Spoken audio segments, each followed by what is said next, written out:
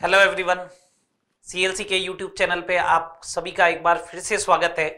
मैं Hanuman Jangir team chemistry CLC Sikar last session में अपन ने जो है, वो फ़र्स्ट टॉपिक कंप्लीट किया था मूल कंसेप्ट आज मैं इस प्रीवियस ईयर के क्वेश्चन की सीरीज़ के अंदर फ़िज़िकल केमिस्ट्री का सेकंड टॉपिक लेके आया हूँ। इसमें अपन डिस्कस करने वाले रेडॉक्स रिएक्शन के साथ साथ ही एटोमिक स्ट्रक्चर ऑलमोस्ट इन दोनों चैप्टर से रिलेटेड अगर बात करें तो लास्ट टेन ईयर में थर्टी फाइव क्वेश्चन आए हुए एटॉमिक स्ट्रक्चर में से लगभग लगभग ट्वेंटी टू के क्वेश्चन के आसपास है ट्वेंटी से ट्वेंटी टू इसका मतलब ऑन एवरेज अगर क्वेश्चन की बात करें तो पर ईयर जो है, वो दो क्वेश्चन एटॉमिक स्ट्रक्चर के और एक क्वेश्चन जो है, वो रेडोक्स रिएक्शन का आता है। आइए डिस्कस करते एक एक करके किस टाइप के क्वेश्चन बनते हैं, ठीक है? वही तरीका वापस साथ में इंपॉर्टेंट पॉइंट बताते हुए, जिससे आपको ये समझ में आए कि एग्ज़ाम में क्वेश्चन का क्राइटेरिया क्या रहा, उनके आसपास अगर क्वेश्चन और आता है उसी टाइप का तो उसे अपन कैसे डिस्कस करें? ठीक है, आइए। सबसे पहले नीट 2018 का ही क्वेश्चन है। The correct order of nitrogen compounds in its decreasing order of oxidation state ठीक है नाइट्रोजन यौगिकों में इनकी ऑक्सीकरण अवस्था का घटता हुआ सही क्रम है। पहले अपन बात कर लेते मैं वही पॉइंट बोलने वाला हूँ जो एग्ज़ाम में आपके क्वेश्चन सोल्व करने में हेल्प करने वाले हैं। ठीक है? अब अपन ये चीज़ चेक करना प्रीफर नहीं करेंगे कि ऑक्सीडेशन नंबर क्या होता है। बस ऑक्सीडेशन नंबर के रूल्स आप याद रखें। रूल्स ऑफ़ ऑक्सीडेशन नंबर क्या है जो आपको यूज़ लेने होते हैं? पहला रूल जो है वो ये है कि अगर कोई भी एलिमेंट अगर फ्री स्टेट में होता है तो फ्री स्टेट में उसका ऑक्सीडेशन नंबर जो होता है या ऑक्सीडेशन स्टेट जो होता है, वो ज़ीरो होता है। सेकेंड नंबर कंबाइन स्टेट में अगर बात करें इन कंबाइन स्टेट तो देखिएगा कंबाइन स्टेट में फ़र्स्ट ए ग्रुप का ऑक्सीडेशन नंबर जो है वो प्लस वन है। फ़र्स्ट ए ग्रुप बोले तो lithium sodium potassium rubidium caesium second A group के लिए अगर अपन बात करें तो सेकंड ए ग्रुप का जो ऑक्सीडेशन नंबर है वो प्लस टू है। एल्यूमिनियम का प्लस थ्री है। फ्लोरीन का ऑलवेज माइनस वन है। क्लोरीन ब्रोमीन, आयोडीन का जनरली माइनस वन है। ठीक है? आगे अगर बात करें, ऑक्सीजन का, अगर ऑक्साइड के फॉर्मेट में है, तब माइनस टू है। अगर पर ऑक्साइड है बेसिकली जो होता है, वो ऑक्सीडेशन नंबर एक एटम का होता है। तो ऑक्साइड की स्पीसीज तो ये हो गई। पर ऑक्साइड ये होता है ओ टू टू माइनस अगर ओ टू टू माइनस हुआ तो इसका मतलब दो ऑक्सीजन एटम के ऊपर मिलके जो चार्ज आ रहा है वो माइनस का टू है। तो एक ऑक्सीजन एटम पे कितना आएगा? माइनस का वन अगर माइनस का वन आएगा तो पर ऑक्साइड पे माइनस वन हो गया। सुपर ऑक्साइड पे अगर बात करें तो सुपर ऑक्साइड होता है ओ टू माइनस वन तो माइनस का हाफ़ हो जाएगा। ठीक है? ओ टू माइनस वन है तो दो ऑक्सीजन एटम के ऊपर चार्ज आया माइनस का वन तो एक के ऊपर कितना आएगा? माइनस का वन बाई टू तो सुपर ऑक्साइड माइनस का हाफ़ हो गया। हाइड्रोजन की अगर बात करें तो जनरली प्लस वन होता है but in case of metal hydride जो होता है, वो होगा कितना? Minus one. ये लीजिएगा। ये कुछ मैंने रूल्स लिखे कंबाइन स्टेट में। ये दो रूल्स हो गए। थर्ड नंबर रूल जिसका अपन सबसे ज़्यादा यूज़ करते हैं, वो थर्ड नंबर रूल ये है सम ऑफ़ ऑक्सीडेशन नंबर जो होता है of atoms is equal to charge on species इसके इक्वल होता है। ठीक है? इसका जैसे यूज़ कैसे करना है? अब जैसे आपने ये लिखा एच टू एस सल्फ़र का ऑक्सीडेशन नंबर कैलकुलेट करना है। तो आपने बोला sum of oxidation number of atoms is equal to charge on species तो आपने हाइड्रोजन का पता है कि हाइड्रोजन का प्लस वन होता है तो दो हाइड्रोजन है तो two into plus one sulphur का मैंने एक्स कंसिडर कर लिया इसके ऊपर इनका सबका सम कर लिया चार्ज कितना है कंपाउंड के ऊपर ज़ीरो तो यहाँ से एक्स इक्वल टू कितना आएगा? माइनस टू आ जाएगा ये। एक्स किसके इक्वल आ जाएगा? माइनस टू सिमिलर वे में आपने बोला अमोनियम आयन है, ये लीजिएगा। नाइट्रोजन का कैलकुलेट करना है एक्स कंसीडर किया? हाइड्रोजन का प्लस वन फोर हाइड्रोजन का plus four equal to plus one तो एक्स इक्वल टू माइनस का थ्री ये आ जाएगा। ठीक है? नाइट्रेट चाहिए अगर आपको नाइट्रोजन का एक्स कंसीडर किया three into minus two equal to minus one x equal to plus का फाइव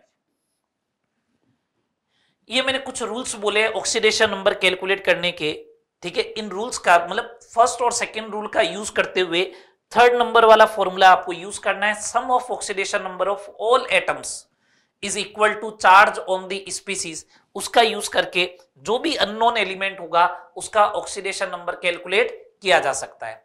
मेरी बात आपको समझ में आ गई होगी। इन्हीं रूल का यूज़ करना है और आपको करेक्ट इंक्रीजिंग ऑर्डर जो है ऑक्सीडेशन नंबर का कैलकुलेट करना है। The correct order of nitrogen compounds in decreasing order decreasing order का मतलब सबसे पहले जो होगा वो हाईएस्ट होगा और उसके बाद लोवेस्ट होगा। पहले ये भी पता हो। ठीक है? अपने पास कंपाउंड एच है। ये लीजिएगा एच सबसे पहले। ठीक है? एच थ्री में इसका हो गया प्लस वन हाइड्रोजन का नाइट्रोजन का एक्स ऑक्सीजन का three into minus two equal to zero x equal to plus का फाइव एच में प्लस फाइव है, ये लो। उसके बाद NH4Cl आप चाहो तो इसको ब्रेक कर दीजिएगा NH4 प्लस और Cl माइनस में। अभी मैंने कैलकुलेट करके बताया था NH4 प्लस Cl माइनस में तो एक्स बराबर आया था माइनस का तीन। ओके NO वाला केस आया तो NO में नाइट्रोजन का X कंसीडर किया ऑक्सीजन का minus two equal to zero तो X equal to plus two N fourth number N2 free state में है तो ज़ीरो आएगा. फ्री स्टेट का मतलब किसी के साथ कंबाइन ही नहीं हुआ. तो हाईएस्ट टू लोवेस्ट जाना है. तो पाँच है, ये फ़र्स्ट नंबर पे रहेगा. प्लस टू सेकेंड नंबर पे रहेगा, ये थर्ड पे रहेगा, और ये फोर्थ पे रहेगा. इसका मतलब अमोनियम क्लोराइड का सबसे कम होना चाहिए। डिक्रीजिंग ऑर्डर पूछा है। इसका मतलब fourth is the correct answer okay fourth इसका क्या आ जाएगा? करेक्ट आंसर आएगा। ऑक्सीडेशन नंबर के रूल्स हो गए सारे। ठीक है? यूज़ करना मैंने आपको सिखा दिया। ये इंक्रीजिंग ऑर्डर डिक्रीजिंग ऑर्डर इस टाइप से क्वेश्चन पूछा जा सकता है आपसे। ओके क्वेश्चन नंबर सेकंड पे बात करते हैं। निम्नलिखित अभिक्रिया में कार्बन की ऑक्सीकरण संख्या में क्या परिवर्तन होता है? What is the change in oxidation number of carbon in the following reaction NEET 2020 का। अब रूल्स वही है, वो जो मैंने बता दिए। कार्बन का ऑक्सीडेशन नंबर कहाँ से कहाँ चेंज हुआ, ये आपको बताना है। चलो कार्बन का oxidation number C H four में बात करें, सबसे पहले। तो x plus four into plus one equal to zero तो x बराबर माइनस का फोर आ गया। इधर है गया सी सी एल फोर ये x क्लोरीन का जनरली माइनस वन होता है तो x बराबर इधर प्लस फोर आ गया। माइनस फोर से प्लस फोर चेंज हुआ है। चेक कर लीजिएगा माइनस फोर से प्लस फोर किधर है? फ़र्स्ट ऑप्शन में माइनस फोर से प्लस फोर देखिएगा, पहले और दूसरे क्वेश्चन का ट्रेंड सेम है। पहला क्वेश्चन अगर आपसे हो गया है, अगर आपने वहाँ पे ऑक्सीडेशन नंबर के रूल्स समझ लिए हैं, उसी क्वेश्चन को सेकंड पार्ट पे आपने अप्लाई किया। फ़र्स्ट वाले में डायरेक्टली किसी एलिमेंट का कंपाउंड के अंदर ऑक्सीडेशन नंबर पूछा जा रहा था। इस बार एक रिएक्शन लिख के आपको एक बार इधर ऑक्सीडेशन नंबर पूछ रहा है एक बार सामने पूछ रहा है। तो दोनों साइड कैलकुलेट कर लीजिएगा। ओके चले आगे बात। नेक्स्ट थर्ड नंबर क्वेश्चन देखते हैं। अच्छा क्वेश्चन है। In acidic medium, H2O2 changes dichromate to CrO5 which has two oxygen oxygen bond oxidation state of chromium in CrO5 इसने बहुत क्लियर सा बोल दिया है कि एक अम्लीय माध्यम में H2O2 डाइक्रोमेट को CrO5 में परिवर्तित करता है, जिसमें दो परोक्साइड बंद उपस्थित है। CrO5 में क्रोमियम की ऑक्सीकरण अवस्था है। एक बात सुनिए।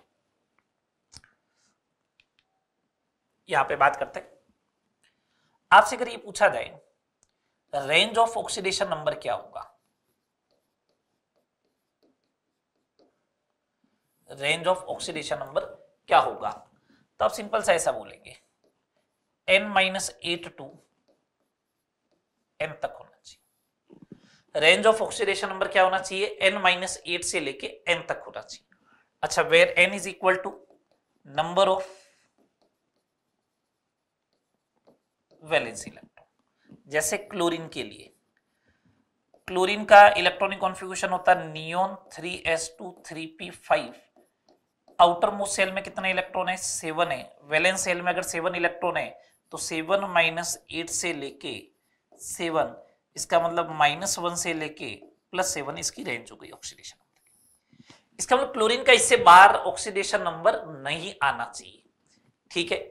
सिमिलर वे में सल्फ़र के लिए अगर अपन रेंज की बात करें तो सल्फ़र का इलेक्ट्रॉनिक कॉन्फ़िगरेशन में नियोन आएगा, उसके बाद three S two, three P four आएगा तो रेंज आ जाएगा माइनस टू से लेके प्लस सिक्स तक। ये लो। ओके अब इससे बाहर नहीं जाए। आपने एक एग्ज़ाम्पल लिखा H2SO5 कैरोज एसिड इसका नाम है, सल्फ़र का ऑक्सीडेशन नंबर आपको कैलकुलेट करना है। आपने फॉर्मूला लगाया two into plus one plus sulphur x plus five into minus two equal to zero x बराबर आ गया प्लस एट, जो गलत है। क्यों गलत है? सल्फ़र का हाईएस्ट ऑक्सीडेशन नंबर कितना हो सकता है? प्लस सिक्स इससे बाहर तो जाना नहीं चाहिए था। प्लस एट आया, इसका मतलब गलत हो गया। अब गलत क्यों हुआ है? बड़ा है ना? अगर बड़ा है, इसका मतलब सीधी सी बात है ऑक्सीडेशन नंबर कम आना चाहिए था। ये कम तभी आ सकता है जब यहाँ पे ये वाला ऑक्सीडेशन नंबर कम हो जाए। ये वाला आप चेंज कर नहीं सकते हो। ऑक्सीजन का आपने माइनस टू माना है अकॉर्डिंग टू ऑक्साइड लेकिन रियलिटी में ऑक्साइड है, हुई नहीं इसके अंदर सारे। इसमें कुछ पर ऑक्साइड भी। ठीक है? इसकी वजह से जो है इसका ऑक्सीडेशन नंबर एबनॉर्मल आ रहा है। जैसा आप एक्सपेक्ट कर रहे हो, वैसा आ नहीं रहा है। तो इस कंडीशन में आप क्या कीजिएगा, इसको पर ऑक्साइड कंसिडर करेंगे। अब आपके दिमाग में आता है, सर, इसका स्ट्रक्चर तो चलो हम जानते हैं, नहीं जानेंगे तो? उस कंडीशन में आपको क्या करना है पर लिंकेज हमेशा O2 टू होता है। It mean oxygen single bond oxygen होता है, ये परोक्साइड लिंकेज होता है। अगर ये परोक्साइड लिंकेज है, ये अगर परोक्साइड लिंकेज है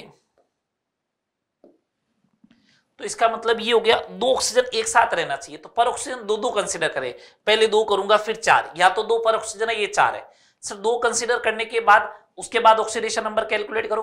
अगर रेंज में आ गया इसका मतलब उसके अंदर पर ऑक्सीजन दो ही है। नहीं आएगा तो फिर चार कंसिडर करूँगा। ठीक है? जैसे, आपने कहा टू ऑक्सीजन पर ऑक्सीजन है, बाकी तीन ऑक्सीजन नॉर्मल है। ये कंसिडर कर लिया मैंने, ये लो। Two into plus one plus sulphur x plus तीन ऑक्सीजन नॉर्मल है तो minus two plus two into minus one equal to zero ये हो गया कैंसिल आउट एक्स बराबर प्लस सिक्स रेंज में आ गया, इसका मतलब दो ऑक्सीजन पर ऑक्सीजन है। अब इसके स्ट्रक्चर की बात करें तो इसका स्ट्रक्चर ये होता है, आपको पता है?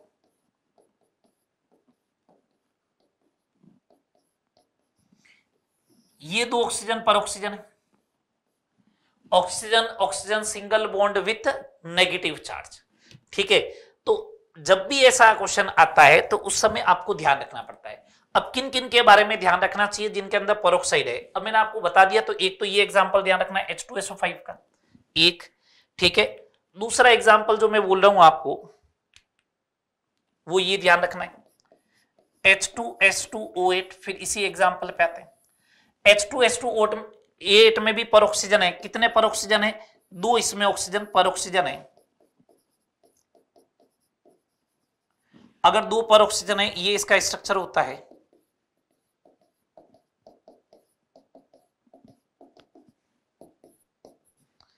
इस सल्फ़र का ऑक्सीडेशन नंबर प्लस सिक्स हो गया, इसका प्लस सिक्स हो गया फॉर्मूले से कैलकुलेट करोगे तो प्लस सेवन ये ध्यान रखना है। अब सिमिलर वे में यहाँ पे सी आर ओ फाइव का अगर मैं कैलकुलेट करता तो x plus five into minus two equal to zero तो यहाँ से x equal to plus ten आता, जो गलत होता। क्रोमियम का हाइएस्ट ऑक्सीडेशन नंबर सिक्स हो सकता है, इससे ज़्यादा नॉट पॉसिबल तो सी आर ओ फाइव है तो इसका बटरफ्लाई स्ट्रक्चर होता है। इसने कह दिया ना, दो पर ऑक्सीजन बॉन्ड है। दो पर ऑक्सीजन बॉन्ड है तो क्रोमियम का एक्स कंसीडर किया, एक ऑक्सीजन नॉर्मल है, दो पर ऑक्सीजन बॉन्ड है, इसका मतलब चार ऑक्सीजन पर ऑक्सीजन की है तो एक्स बराबर प्लस सिक्स कितना आएगा? प्लस सिक्स ये तीन एग्ज़ाम्पल आपको याद रखने आप ठीक है? जिनमें एबनॉर्मल ऑक्सीडेशन स्टेट आएगा पर ऑक्सीजन की वजह से। अगर आप उसे ऑक्सीजन कंसीडर करते हैं, उस कंडीशन में उनके आंसर जो आएँगे, वो डिफरेंट आएँगे। और यहाँ पे आंसर क्या आता है? डिफरेंट आएगा। रेंज से बाहर कभी भी ऑक्सीडेशन नंबर नहीं जाना चाहिए। Okay next fourth number question पे आते नीट 2019 का क्वेश्चन है the correct structure of tri bromo octa oxide tri bromo octa oxide की सही संरचना क्या है? क्वेश्चन ये पूछा हुआ है। ठीक है? ये चार option one two three four यहाँ पे ये क्वेश्चन डिस्कस करने का क्या सेंस है वो भी बता देता हूँ। इंडिविजुअल ऑक्सीडेशन नंबर कैलकुलेट करना होता है जब भी। इंडिविजुअल ऑक्सीडेशन नंबर का मतलब क्या? एक कंपाउंड के अंदर जिस एलिमेंट का, जिस एटम का ऑक्सीडेशन नंबर या जिस एलिमेंट का ऑक्सीडेशन नंबर आपको कैलकुलेट करने हो, उसके एक से ज़्यादा एटम हो। ब्रोमीन का कैलकुलेट करना था B R three O eight bromine का कैलकुलेट करना था तो उसके नंबर ऑफ़ एटम एक से ज़्यादा थे। और अगर वो डिफरेंट डिफरेंट हो, उस कंडीशन में उनके ऑक्सीडेशन नंबर भी क्या आएँगे? डिफरेंट डिफरेंट आएँगे। इनके ऊपर चर्चा करते हैं। एक आपने कहा कि सर एच है। तो मैंने कहा एच में नाइट्रोजन का एक ही एटम है। जिसका ऑक्सीडेशन नंबर कैलकुलेट करना है, उसका एक ही है। तो यहाँ पे आप डायरेक्टली कैलकुलेट करके सीधा फाइव लिख दिया। ठीक है। एक आपने कहा डाइक्रोमेट ठीक है। जिस एलिमेंट का आपको ऑक्सीडेशन नंबर कैलकुलेट करना है उसके दो एटम है। बट दोनों के दोनों एटम कैसे आइडेंटिकल है। आइडेंटिकल है, उस कंडीशन में जो है, देखिएगा सेम एनवायरमेंट है। अगर आइडेंटिकल है, उस कंडीशन में आपको कोई माता पची करने की ज़रूरत नहीं, सीधा फॉर्मूला लगाओ आंसर आ जाएगा। दोनों का ऑक्सीडेशन नंबर कैसा आएगा? सेम आएगा। बट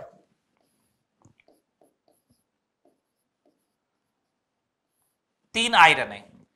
क्या तीनों के तीनों आयरन आइडेंटिकल है क्या? नहीं है। नहीं है तो it is the mix oxide किसका मिक्स ऑक्साइड है? FEO plus F two O three का। इसका ऑक्सीडेशन नंबर जो आएगा, वो प्लस टू आएगा। इन दो के ऑक्सीडेशन नंबर क्या आएँगे? प्लस थ्री आएगा। एवरेज एट बाई थ्री आएगा। अब अगर आप फॉर्मूला लगाते हो तो आता है एट बाई थ्री और इंडिविजुअल पूछा है तब आएगा plus two plus three plus three जब आपसे इंडिविजुअल ऑक्सीडेशन नंबर पूछा जाए, उस समय आपको स्ट्रक्चर पता होना ज़रूरी है। तो इंडिविजुअल ऑक्सीडेशन के टाइम स्ट्रक्चर रिक्वायरमेंट है एनसीआरटी में कुछ स्ट्रक्चर लिखे हुए उनके बारे में आपको जस्ट आइडिया रखना है। तो एक तो ये ध्यान रखना है Fe3O4 के बारे में, और बताता हूँ। तो पहला तो Fe3O4 हो गया। It is the mix oxide of FeO plus Fe2O3 इसका ऑक्सीडेशन नंबर प्लस टू इन दोनों का plus three plus three okay similar way में Pb3O4 लेड कार्बन फैमिली का, जिसका ऑक्सीडेशन नंबर या तो प्लस टू होता है या प्लस फोर होता है। प्लस टू या प्लस फोर है तो या तो ये ऑक्साइड है पीबीओ का और एक है मिक्स ऑक्साइड पीबीओ टू का टू रेस टू वन में तो plus two plus two and plus four ये लीजिए। ठीक है? Third number thiosulphate S two O three two minus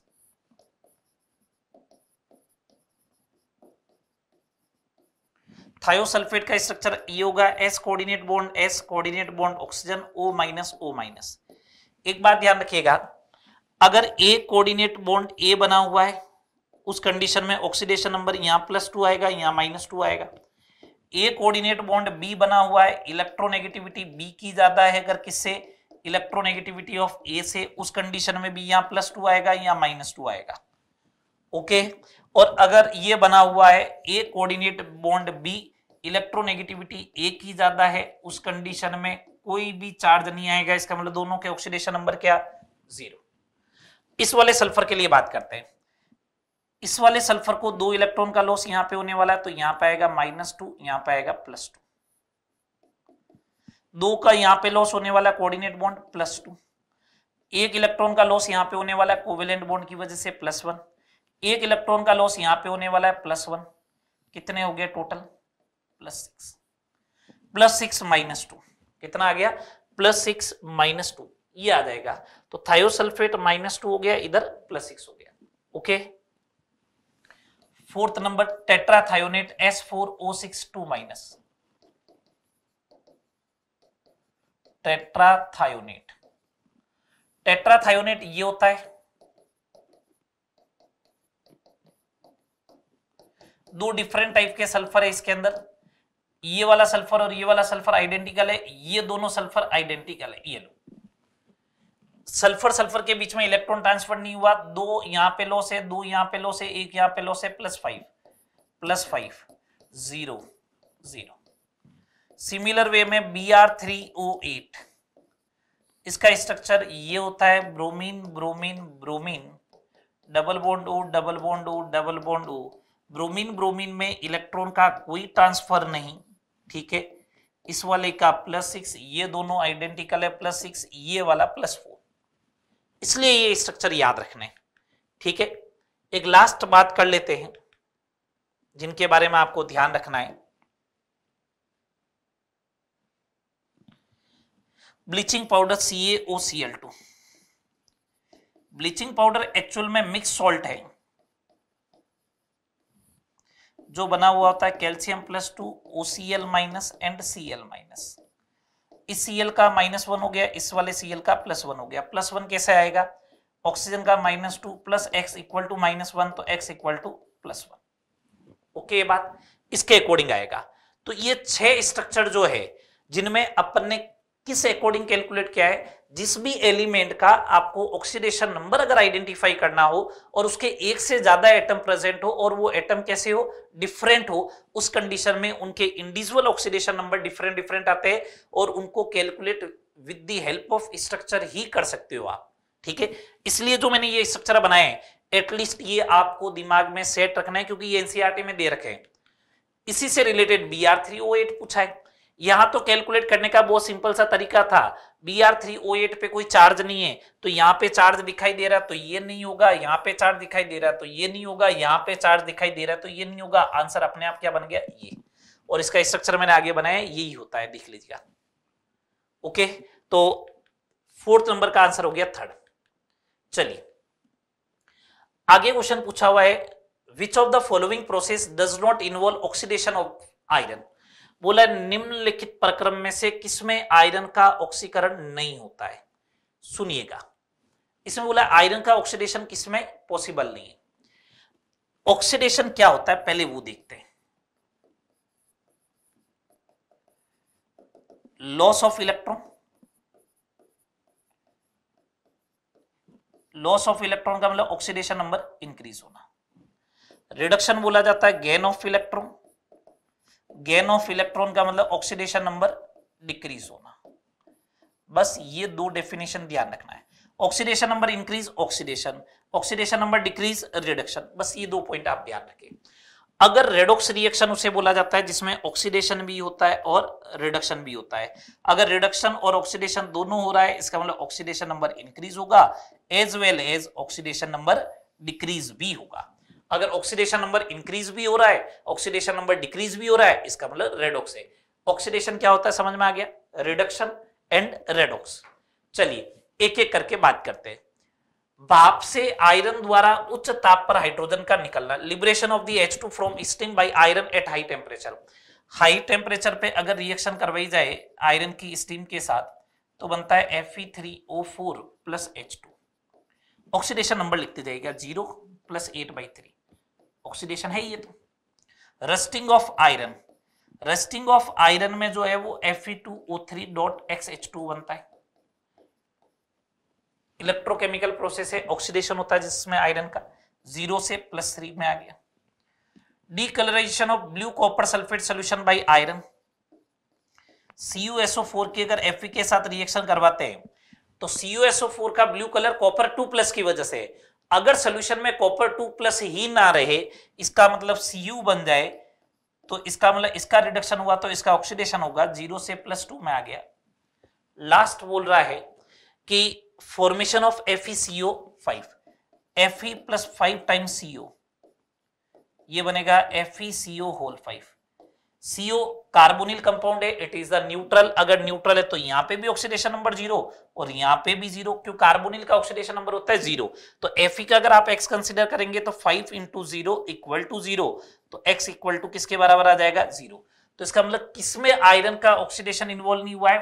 fourth वाले प्रोसेस में आयरन का ऑक्सीडेशन इन्वॉल्व नहीं हुआ है.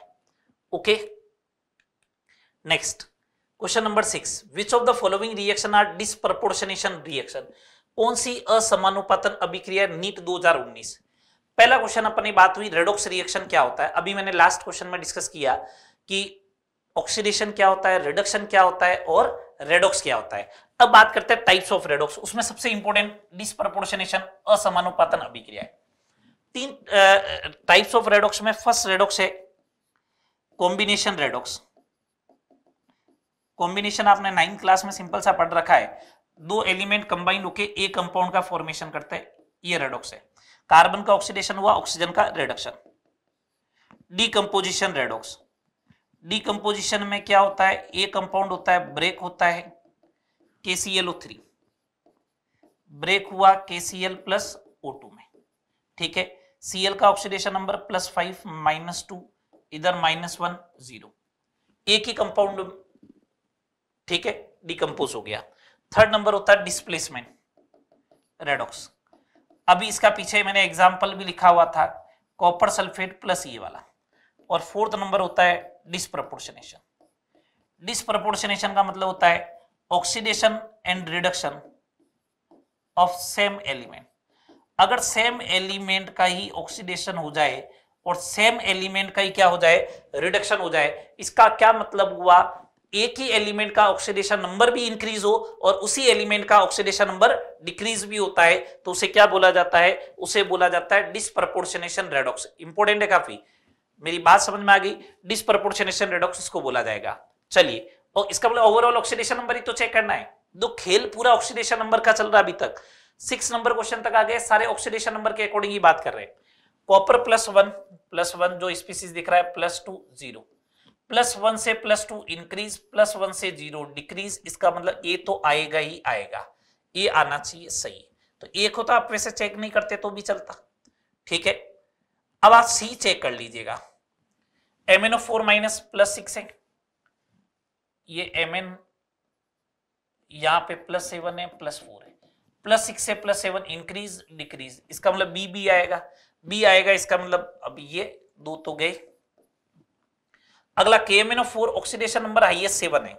एक बात ध्यान रखना, जिस भी एलिमेंट का ऑक्सीडेशन नंबर या तो हाईएस्ट हो या फिर लोवेस्ट हो, वो कभी भी डिस्प्रपोर्शनेशन रेडॉक्स रिएक्शन शो नहीं करेगा। उसका रीजन हाईएस्ट है तो और ऊपर तो जाने से रहा, और लोवेस्ट है तो और नीचे आने से रहा। इसका मतलब अगर किसी एलिमेंट का ऑक्सीडेशन नंबर किसी एटम का ऑक्सीडेशन नंबर हाईएस्ट या फिर लोवेस्ट हो, वो कभी भी डिस्प्रपोर्शनेशन शो नहीं करेगा। यहाँ पे देखिएगा प्लस सेवन है, प्लस टू है, यहाँ पे आ गया प्लस फोर। ये डिस्प्रपोर्शनेशन का उल्टा नहीं दिख रहा है क्या? प्लस फोर वाला प्लस टू में जाता तो डिक्रीज होता, प्लस फोर वाला प्लस सेवन में जाता तो इंक्रीज ये कम प्रपोर्शनेशन रेडोक्स है डिस्प्रपोर्शनेशन नहीं है। ठीक है? तो इसका मतलब कौन सा आंसर हो गया? A and B third is the correct answer okay चले आगे। नेक्स्ट प्रॉब्लम नंबर सेवन अब ये कह रहा है hot concentrated sulphuric acid is a moderately strong oxidizing agent which of the following reaction does not show oxidizing behaviour गर्म सांद्र sulphuric अम्ल एक मध्यम प्रबल ऑक्सीकारक है। निम्न में से कौन सी अभिक्रिया ऑक्सीकरण व्यवहार नहीं दर्शाती? कौन सी रिएक्शन जो है वो इसका ऑक्सीडाइजिंग नेचर शो नहीं करेगा? क्वेश्चन ऐसे पूछा गया है। सिंपल सी बात करते हैं। ऑक्सीडाइजिंग एजेंट का क्या मतलब होता है? अदर का करेगा ऑक्सीडेशन एंड सेल्फ का क्या करेगा? रिडक्शन बस ये जो कीवर्ड बता रहा हूँ, ये ध्यान रखना है। अगर सेल्फ का रिडक्शन करेगा, इसका मतलब ऑक्सीडेशन नंबर डिक्रीज होगा। अगर किसी एलिमेंट का ऑक्सीडेशन नंबर डिक्रीज हो रहा है, इसका मतलब ऑक्सीडाइजिंग एजेंट है। रिड्यूसिंग एजेंट इसका जस्ट उल्टा याद रख लो।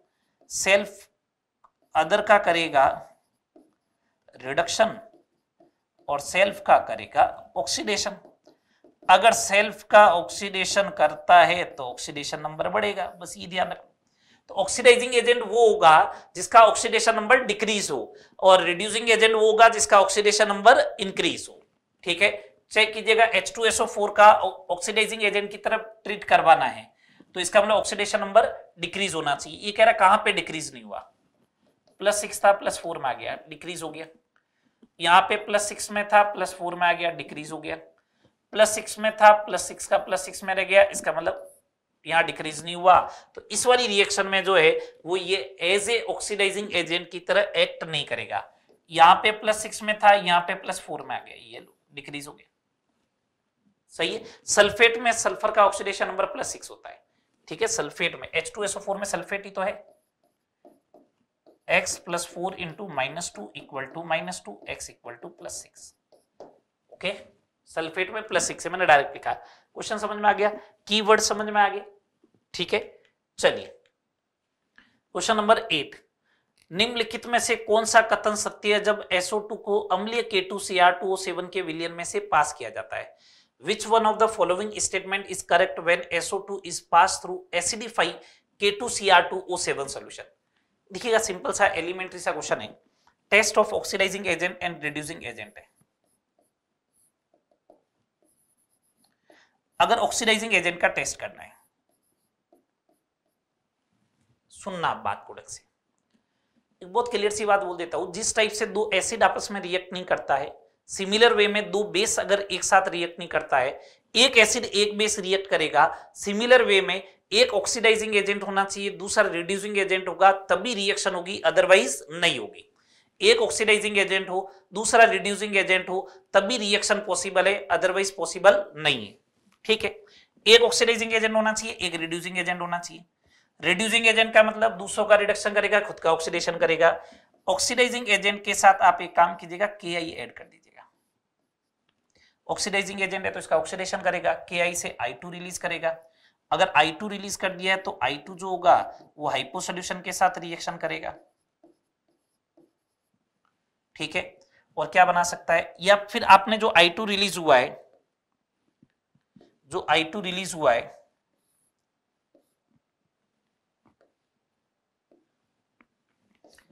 आई टू आपको पता है, स्टार्च के साथ ब्लू कलर का कॉम्प्लेक्स बनाता है। तो अगर कोई ऑक्सीडाइजिंग एजेंट है या नहीं है, आपको ये आइडेंटिफाई करना है तो उसमें के का सॉल्यूशन ऐड कर दीजिएगा एसिडिफाई के ठीक है? अगर सामने वाला ऑक्सीडाइजिंग एजेंट होगा तो के का ऑक्सीडेशन करेगा I2 में कन्वर्ट करेगा I2 जो होगा, वो स्टार्च के साथ ब्लू कलर का कॉम्प्लेक्स बना लेगा। इसका मतलब लास्ट में ब्लू कलर आ गया, इसका मतलब वो ऑक्सीडाइजिंग एजेंट है, अगर नहीं आया, इसका मतलब I2 रिलीज़ नहीं हुई। अगर I2 रिलीज़ नहीं हुआ तो इसका मतलब के का ऑक्सीडेशन नहीं हुआ। अगर के का ऑक्सीडेशन नहीं हुआ तो फिर सामने वाला ऑक्सीडाइजिंग एजेंट नहीं है। अगर ऑक्सीडाइजिंग एजेंट है तो फिर के के साथ रिएक्शन करवाने पर आई स्टार्च के साथ वो ब्लू कलर देगा, ये कंफर्म बात है। सिमिलर वे में आपने बोला, सर रिड्यूसिंग एजेंट का टेस्ट करवाना है।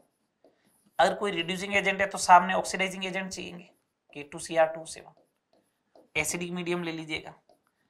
एसिडिक मीडियम में ये इसको रिड्यूस करेगा रिड्यूस करेगा तो सी आर थ्री प्लस बनाएगा। सी आर थ्री प्लस का कलर कैसा होता है? ग्रीन कलर होता है। यही अगर आपने के एम एन ओ फोर लिया होता K M N O four purple colour का होता है। ये ऑरेंज कलर का होता है K two C R two O seven acidic medium लिया होता तो ये एम एन टू प्लस में कन्वर्ट हो जाता है कलरलेस होता है, ये लीजिए। ठीक है, अब वापस आते हैं अपन क्वेश्चन पे। ये इनके टेस्ट हो गए। अगर कोई रिड्यूसिंग एजेंट है तो सामने ऑक्सीडाइजिंग एजेंट चाहिए मैंने K two C R two O seven K M N O four ले लिया एसिडिक मीडियम में। K two C R two O seven acidic medium में सी आर थ्री प्लस बनाएगा, जो ग्रीन कलर का होता है। के फोर पर्पल कलर का होता है, लेकिन ये रिड्यूस होता है एसिडिक मीडियम में तो टू प्लस बनाता है। अगर ये टू प्लस बनाता है, उस कंडीशन में ये कलरलेस बनता है।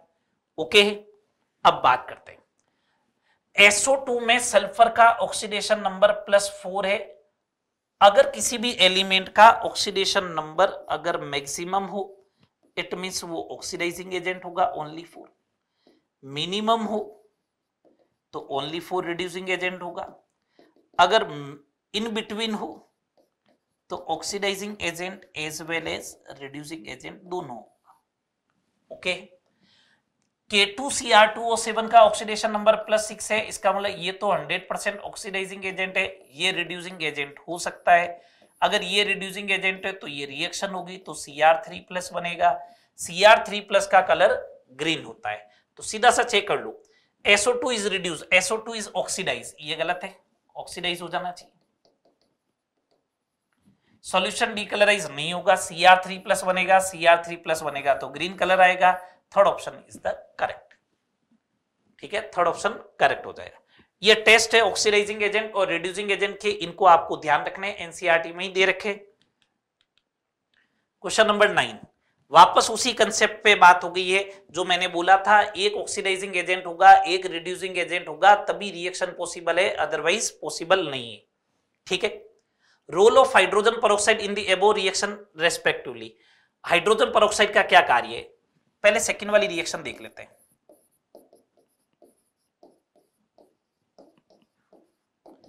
ये रेडॉक्स रिएक्शन है, इसने कहा है। तो इसका मतलब एक ऑक्सीडाइजिंग एजेंट एक रिड्यूसिंग एजेंट तो होगा ही होगा कंफर्म है। सिल्वर का ऑक्सीडेशन नंबर प्लस वन से ज़ीरो खुद का रिडक्शन इसका मतलब ऑक्सीडाइजिंग एजेंट ये अगर ऑक्सीडाइजिंग एजेंट है तो ये क्या होगा? रिड्यूसिंग एजेंट सेकंड वाली में रिड्यूसिंग एजेंट है। ठीक है? रिड्यूसिंग एजेंट दूसरों का रिडक्शन करता है, खुद का ऑक्सीडेशन खुद का ऑक्सीडेशन कर रहा है, दूसरों का रिडक्शन कर रहा है प्लस वन से प्लस ज़ीरो में। ओके तो दूसरे वाले में तो रिड्यूसिंग है। ये बात कंफर्म होगी। पहले वाले में देख लेते हैं।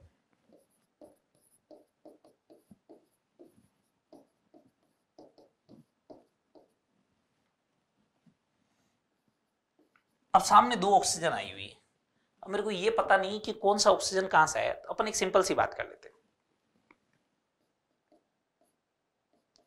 इसमें ऑक्सीडेशन नंबर कितना है? माइनस वन यहाँ पे माइनस टू यहाँ पे ज़ीरो ठीक है? इतनी बात तो समझ में आ रही है। ये किसमें है? ज़ीरो में। तो ज़ीरो वाला ज़ीरो में तो नहीं गया होगा। तो फिर तो ना तो ऑक्सीडाइजिंग एजेंट होगा, ना रिड्यूसिंग एजेंट होगा। इसका मतलब ये किसमें गया है? माइनस टू में। माइनस टू में गया इसका मतलब ऑक्सीडेशन नंबर डिक्रीज हुआ है। अगर ऑक्सीडेशन नंबर डिक्रीज हुआ है, इसका मतलब ये ऑक्सीडाइजिंग एजेंट है। अगर ये ऑक्सीडाइजिंग एजेंट है तो ये क्या बन गया? रिड्यूसिंग एजेंट इसका मतलब दोनों रिएक्शन में H2O2 रिड्यूसिंग एजेंट है।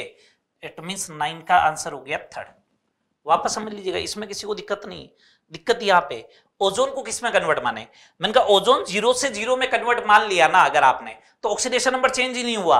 अगर ऑक्सीडेशन नंबर चेंज नहीं हुआ तो ओजोन के रेस्पेक्ट में वो न तो ऑक्सीडाइजिंग एजेंट है और न रिड्यूसिंग एजेंट है। जबकि आप कह रहे हो रिएक्शन रेडोक्स है तो एक ऑक्सीडाइजिंग एजेंट होगा, दूसरा रिड्यूसिंग एजेंट होगा ही होगा। तो इसका मतलब फिर ये इसमें कन्वर्ट नहीं हो सकता है। ये कन्वर्ट हुआ है एच में, ज़ीरो से माइनस टू इसका मतलब ऑक्सीडाइजिंग एजेंट ये ऑक्सीडाइजिंग एजेंट बन गया तो सामने वाला अपना रिड्यूसिंग एजेंट बन गया। उसको चेक करने की ज़रूरत नहीं है। नीट 2018 का क्वेश्चन बैलेंसिंग का है। देखिएगा। बैलेंसिंग में आपको एक बहुत सिंपल सा तरीका बता देता हूँ। या तो बैलेंसिंग पूछेगा एसिडिक मीडियम में, या बैलेंसिंग पूछेगा बेसिक मीडियम या फिर न्यूट्रल मीडियम मैं तीनों के एक एक एग्ज़ाम्पल बताता हूँ। ये एसिडिक मीडियम का है जैसे। ठीक है? पहले एक न्यूट्रल मीडियम का, एक बेसिक का और थर्ड नंबर पे एसिडिक का आता है। क्या तरीका रहता है देखना? ये ओस्टवाल्ड प्रोसेस की रिएक्शन है न्यूट्रल मीडियम में है। जो वर्ड ध्यान रखने वो मैं बोल देता हूँ, बस क्या काम के वर्ड ध्यान रखने सबसे पहले ऑक्सीडेशन नंबर लिख लीजिएगा। आपने कहा माइनस थ्री इसका ज़ीरो इसका प्लस टू उसके बाद माइनस टू अमोनिया में नाइट्रोजन है, कितने का चेंज हुआ वो देख ले। चेंज कितने का हुआ? पाँच का। इसके लिए चेंज कितने का हुआ? दो का, लेकिन कितने ऑक्सीजन है पर मॉलिक्यूल चेंज चेक करना है। चेंज जब चेक करने जाओ आप, ये जो चेंज चेक करना है it is the per molecule उस मॉलिक्यूल में जो जो एटम है, उन सबके ऑक्सीडेशन नंबर का चेंज पता करना है। सर आपने हाइड्रोजन का तो पता नहीं किया। हाइड्रोजन पहले भी प्लस वन में था, अभी भी प्लस वन में, इसलिए पता नहीं किया है। नाइट्रोजन का एक ही एटम था, इसलिए एक एटम के करस्पॉन्डिंग चेक किया। अगर दो एटम होते तो मल्टीप्लाई बाई टू और कर देता। ऑक्सीजन के दो एटम थे तो एक एटम के लिए चेंज दो का है तो दो एटम के लिए कितने का आ गया? फोर का। ये चेंज चेक कर ले। जैसे ये चेंज आ जाता है, उसके बाद जो है, वो आप एक काम कीजिएगा क्रॉस मल्टीप्लाई करके लगा दीजिएगा। इसके लिए चेंज चार, पाँच का है तो पाँच इधर लगा दे। और इसके लिए चेंज फोर का है तो फोर इधर लिख दे। अब बस एटम काउंट करके लिखना है। फोर हाइड्रोजन के कितने? ट्वेल्व। ये लीजिएगा। रेंडमली चेक करना, ऑक्सीजन को चेक कर लीजिएगा। Four plus six, ten. इधर भी हो गया, फाइव का डबल, टेन। ये तो मीडियम हो गया कौन सा? न्यूट्रल। एसिडिक मीडियम में बात करते हैं। फिर एक बेसिक मीडियम के एग्जांपल पे आता हूँ। Oxidation number plus five. Carbon का ऑक्सीलेट में प्लस थ्री। अगर किसी को कैलकुलेट करने में दिक्कत होता है तो ऑक्सीलेट का, ऑक्सीडेशन नंबर कार्बन का जो आएगा वो आएगा two X plus four into minus two equal to minus two तो two X equal to plus का सिक्स तो एक्स इक्वल टू प्लस का थ्री एम एन का प्लस टू इधर प्लस फोर चेंज चेक कीजिएगा एम एन का एक ही atom है तो कितने का चेंज आ गया? सॉरी प्लस सेवन का है ये ऑक्सीडेशन नंबर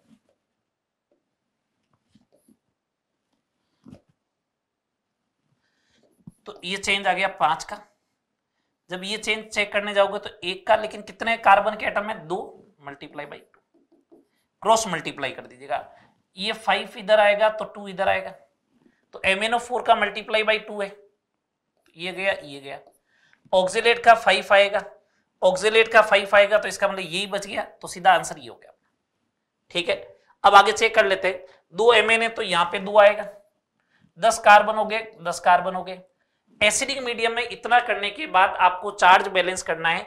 चार्ज कितना हो गया? प्लस का फोर और इधर हो गया माइनस का ट्वेल्व इधर माइनस का ट्वेल्व चार्ज है, इधर प्लस का फोर है तो इधर सिक्सटीन एच प्लस एड कर दू क्या? तो इधर भी प्लस का फोर चार्ज हो जाएगा। तो सिक्सटीन एच प्लस इधर एड हो जाएगा। अगर 16 एच प्लस आया तो इधर 8 एच टू आ जाएगा। ये तो 16 एच प्लस ये एसिडिक मीडियम हो गया। अच्छा बेसिक मीडियम का एक एग्ज़ाम्पल देख लेते हैं।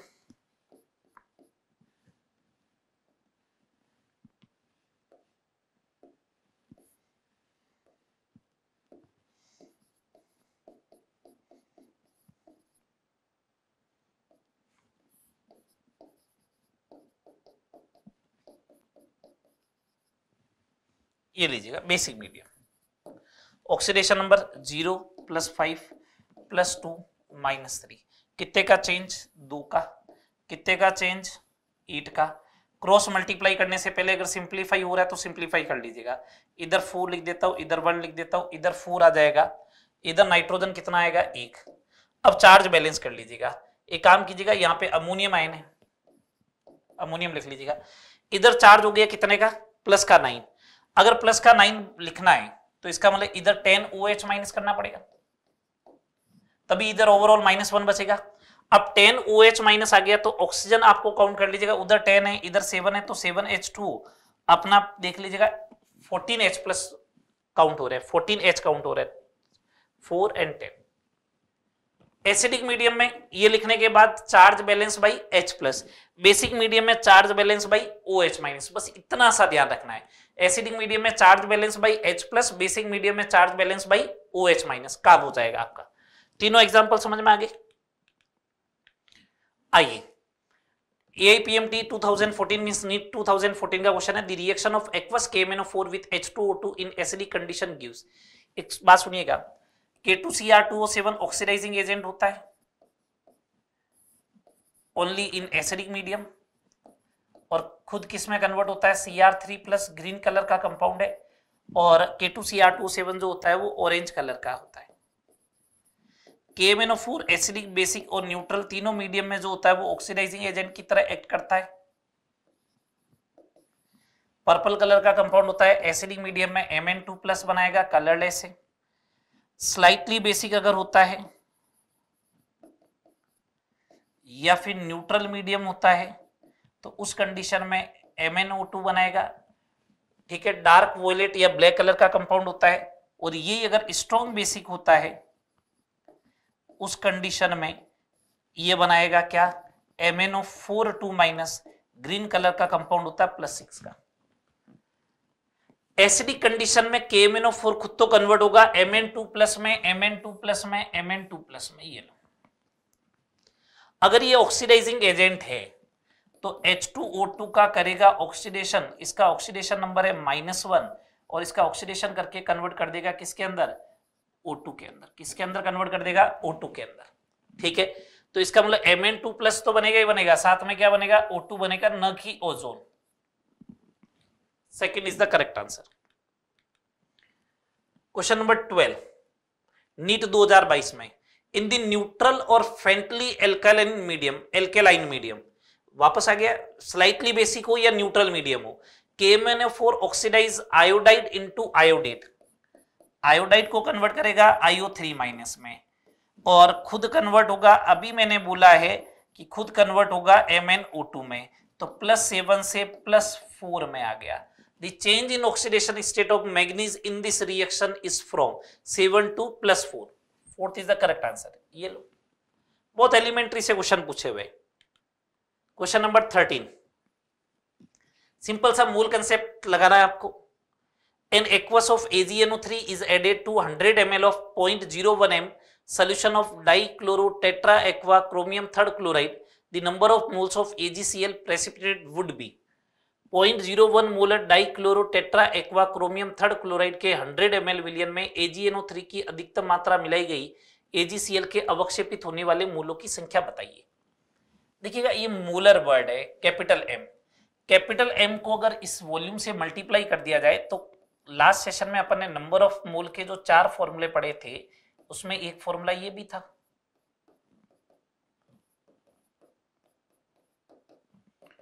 Ten is the power minus three या फिर point zero zero one mole ये किसका मोल है?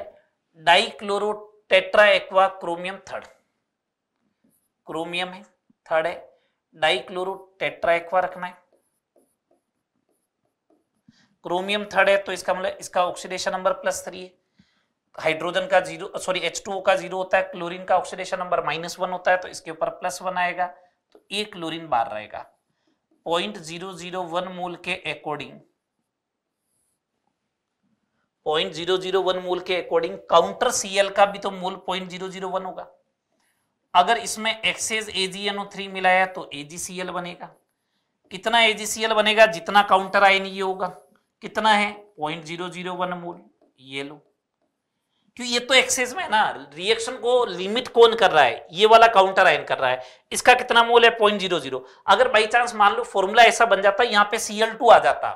अगर यहाँ पे सीएल टू आता तो यहाँ पे क्लोरीन के कितने आयन हो जाते? दो। क्लोरीन का डबल होता तो पॉइंट ज़ीरो ज़ीरो टू हो जाता इसके point zero zero one mole में। तो सामने भी कितना बन जाता? Point zero zero two mole बन जाता। ओके तो इसका आंसर हो जाएगा। Third is the correct answer NEET 2015 का क्वेश्चन है. Assuming complete ionisation same mole of which of the following compound will require the least amount of acidify KMNO4 for complete oxidation ये बोला इनके पूर्ण आयनीकरण को मानते हुए कौन से यौगिक के पूर्ण ऑक्सीकरण में सबसे कम मात्रा में अम्लीय केएमएनओ4 की आवश्यकता होगी? एक नंबर ऑफ़ इक्विवेलेंस का फॉर्मूला है. एक तो होता है mass upon equivalent mass first second number formula होता है normality into volume in litre normality को अपन लिखते हैं molarity into N factor into volume in litre molarity into volume हो जाता है नंबर ऑफ़ मोल तो ये हो गया मोल इंटू एन फैक्टर किसी भी केमिकल रिएक्शन में नंबर ऑफ़ इक्विवेलेंस जो होते हैं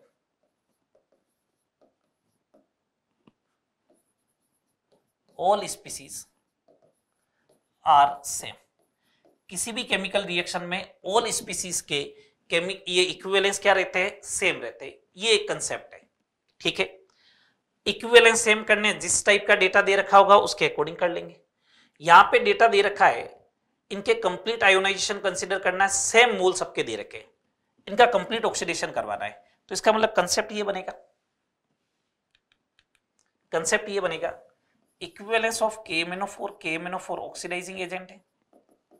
Equal to equivalents of reducing agent KMnO4 का mole into N factor acidic medium N factor पाँच होता है change in oxidation number seven से प्लस टू इसका मोल इनटू एन फैक्टर अपन को KMnO4 का मोल कैलकुलेट करना है, इन सबके मोल तो सेम है N factor divide by five जिसका एन फैक्टर ज़्यादा होगा, उसके लिए KMnO4 के मोल भी ज़्यादा कंज्यूम होंगे. अपन को क्या पूछ रहा है? लीस्ट अमाउंट ऑफ़ एसिडिफाई के फोर इसका मतलब लीस्ट होना चाहिए क्या? एन फैक्टर चेक करते हैं। पहला फेरस सल्फाइड फेरस है तो फेरिक में कन्वर्ट होगा सल्फाइट है तो सल्फेट में कन्वर्ट होगा। एन फैक्टर देखना। फेरस का प्लस टू से प्लस थ्री एक का चेंज सल्फाइड का प्लस टू होता है कन्वर्ट हुआ सल्फेट में प्लस सिक्स हो गया। तो कितने का चेंज थ्री का। प्लस फोर से प्लस सिक्स में। फेरस ऑक्जेलेट फेरस कन्वर्ट होगा फेरिक में ऑक्जेलेट कन्वर्ट होगा CO2 में एन फैक्टर की बात करोगे तो फेरस का फेरिक ऑक्जेलेट में एक का चेंज लेकिन कार्बन दो है तो मैंने कहा था ना N factor change in oxidation number पर मोलिक्यूल होता है। अगला फेरस नाइट्राइट फेरस से कन्वर्ट होगा फेरिक में नाइट्राइट का कन्वर्ट होगा नाइट्रेट में। एन फैक्टर फेरस से फेरिक एक नाइट्राइट प्लस थ्री से प्लस फाइव दो का चेंज, लेकिन दो है तो ओवरऑल चेंज पाँच का। फेरस सल्फेट फेरस कन्वर्ट होगा फेरिक में सल्फेट तो वैसे भी हाईएस्ट ऑक्सीडेशन नंबर में प्लस टू से प्लस थ्री एक का चेंज है तो इसका मतलब एन फैक्टर किसके बराबर आ गया? वन के इक्वल आ गया। तो अब चेक कीजिएगा, जिसका एन फैक्टर कम होगा, उसके लिए लिस्ट अमाउंट चाहिएगा किसका? के का। तो चेक कर लीजिएगा एन फैक्टर मिनिमम किसके लिए आ रहा है? एन फैक्टर मिनिमम आ रहा है एफ़ के लिए, ये हो गया। ओके ये 14 क्वेश्चन जो थे, वो थे किससे related atom sorry redox reaction से रिलेटेड अब अपन यहाँ से एटॉमिक स्ट्रक्चर इसका सेकंड पार्ट स्टार्ट कर रहे हैं। 21 क्वेश्चन इससे रिलेटेड देखने वाले आइए एक एक करके इनको चर्चा करते हैं। सबसे पहला क्वेश्चन दे रखा है the number of proton neutron and electron in lutetium 71 175 simple सी बात है, किसी भी एलिमेंट को जो रिप्रेजेंट किया जाता है एक्स जेड ए से रिप्रेजेंट किया जाता है एक्स एलिमेंट है जेड जो होता है वो इसका एटॉमिक नंबर होता है। ये इसका एटॉमिक नंबर है। ये हमेशा किसके इक्वल होगा? प्रोटॉन के इक्वल होगा। ये इलेक्ट्रॉन के भी इक्वल होगा इन न्यूट्रल केस। ए जो होता है वो मास नंबर के इक्वल होता है, ये लीजिए। मास नंबर जो होता है वो number of nucleons means number of neutron plus proton के इक्वल होता है। प्रोटॉन की जगह पर अगर मैं जेड लिख देता हूँ तो नंबर ऑफ़ न्यूट्रॉन का फॉर्मूला आ गया ए माइनस जेड यहाँ से मैं देखिएगा, तीनों कैलकुलेशन बोल देता हूँ। प्रोटोन हमेशा किसके इक्वल होगा? जेड के। न्यूट्रॉन किसके इक्वल होगा? ए माइनस जेड के। इलेक्ट्रॉन होता है प्रोटोन माइनस चार्ज के इक्वल अगर चार्ज ज़ीरो है तो इलेक्ट्रॉन और प्रोटोन सेम हो जाएगा। जब चार्ज ज़ीरो है तो इलेक्ट्रॉन और प्रोटॉन क्या हो जाएगा? सेम हो जाएगा। और जब चार्ज होगा, जैसे मान लीजिएगा, ये है F nine nineteen minus one है। तो इलेक्ट्रॉन जो होगा, वो प्रोटॉन हो गया नाइन, माइनस चार्ज है माइनस वन, माइनस माइनस हो गया प्लस वन। तो इलेक्ट्रॉन का नंबर किसके इक्वल आ गया? टेन के इक्वल आ गया। ओके बात? तो ये तीन फॉर्मूले आपको ध्यान रखना ये रिप्रेजेंटेशन ऑफ़ एलिमेंट हो गया। ठीक है बात? चलिए, प्रोटॉन 71 होगा। न्यूट्रल है तो इलेक्ट्रॉन बी सेवेंटी वन होगा। 71 71 ये रहा ऑप्शन। ये आंसर आ गया थर्ड। न्यूट्रॉन चाहिए तो 175 minus seventy it is equal to 104 ठीक है? क्वेश्चन नंबर 16 नीट 2014 का क्वेश्चन है। Beryllium 2 plus is isoelectronic with which of the following? Atomic number आपको याद रखना होता है। जब अपन पीरियोडिक टेबल पढ़ते हैं तो एटॉमिक नंबर अपन सबके याद रखते हैं। बेरिलियम का एटॉमिक नंबर फोर है तो इसका मतलब इसमें प्रोटॉन फोर है। तो नंबर ऑफ़ इलेक्ट्रॉन किसके बराबर होगा? प्रोटॉन माइनस चार्ज, इसका मतलब दो के बराबर। तो इलेक्ट्रॉन अगर दो है तो आइसो इलेक्ट्रॉनिक का मतलब ये है कि जिसमें नंबर ऑफ़ इलेक्ट्रॉन सेम हो। देखिएगा, सबसे इंपॉर्टेंट आइसो इलेक्ट्रॉनिक है तो इसी के बारे में ध्यान रखें। अगर प्रोटॉन का नंबर सेम है, आइसो सॉरी, आइसोटोप है, ठीक है, समस्थानिक है। न्यूट्रॉन का नंबर अगर सेम है, आइसोटोन है। अगर मास नंबर सेम है आइसो बार या समभारिक बोला जाता है। इलेक्ट्रॉन का नंबर सेम है तो आइसो इलेक्ट्रॉनिक है। इसमें देखते हैं। इसमें electron one minus one equal to zero, three minus plus का one it is equal to two. इसका मतलब आंसर कौन सा हो गया? Lithium is the isoelectronic with beryllium two plus. NEET 2021 देखिएगा वापस से। From the following pair of ions which one is not isoelectronic pair कौन सा आइसो इलेक्ट्रॉनिक सम इलेक्ट्रॉनिक युग्मन नहीं है। एन ए प्लस में होता है इलेवन माइनस वन टेन इसमें हो गया twelve minus plus two ten दोनों टेन है आइसो इलेक्ट्रॉनिक है। इस पे आते हैं। एम एन का twenty five minus plus two equal to twenty three twenty six minus plus का three equal to twenty three अब इसमें तो ट्वेंटी फोर हो गया और एम में ट्वेंटी थ्री ये आइसो इलेक्ट्रॉनिक पेयर नहीं है। ओके नेक्स्ट क्वेश्चन नंबर 18 18 जो है वो इलेक्ट्रोमैग्नेटिक वेव से रिलेटेड है. इलेक्ट्रोमैग्नेटिक वेव में जो है वो electric field and magnetic field एक दूसरे के परपेंडिकुलर होते हैं and it is the direction of propagation के भी क्या होते हैं? परपेंडिकुलर तीनों एक दूसरे के परपेंडिकुलर है. कौन?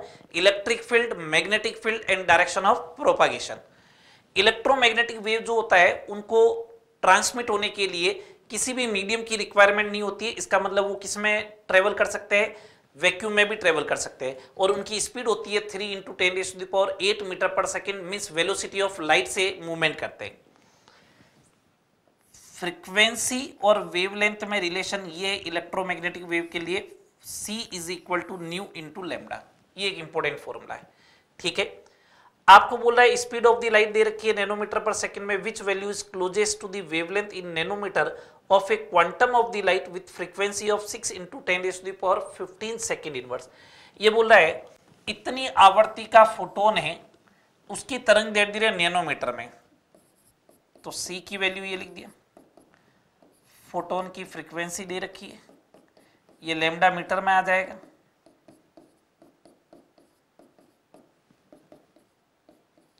नैनोमीटर में कन्वर्ट करना है ten H the power minus nine meter ये nanometer 50 nanometer first is the correct answer तो इलेक्ट्रोमैग्नेटिक वेव के लिए C equal to nu lambda ये फॉर्मूला याद रखिए इलेक्ट्रोमैग्नेटिक वेव होती क्या है? कि इलेक्ट्रोमैग्नेटिक वेव में electric field magnetic field and direction of propagation तीनों एक दूसरे के परपेंडिकुलर है। किसी भी मीडियम की रिक्वायरमेंट नहीं है, इसका मतलब वैक्यूम में ट्रेवल कर सकते हैं और स्पीड ऑफ़ लाइट से क्या करते हैं? मूवमेंट करते हैं। सी इक्वल टू क्या होगा? न्यू इंटू लेमडा ये ध्यान रखना है।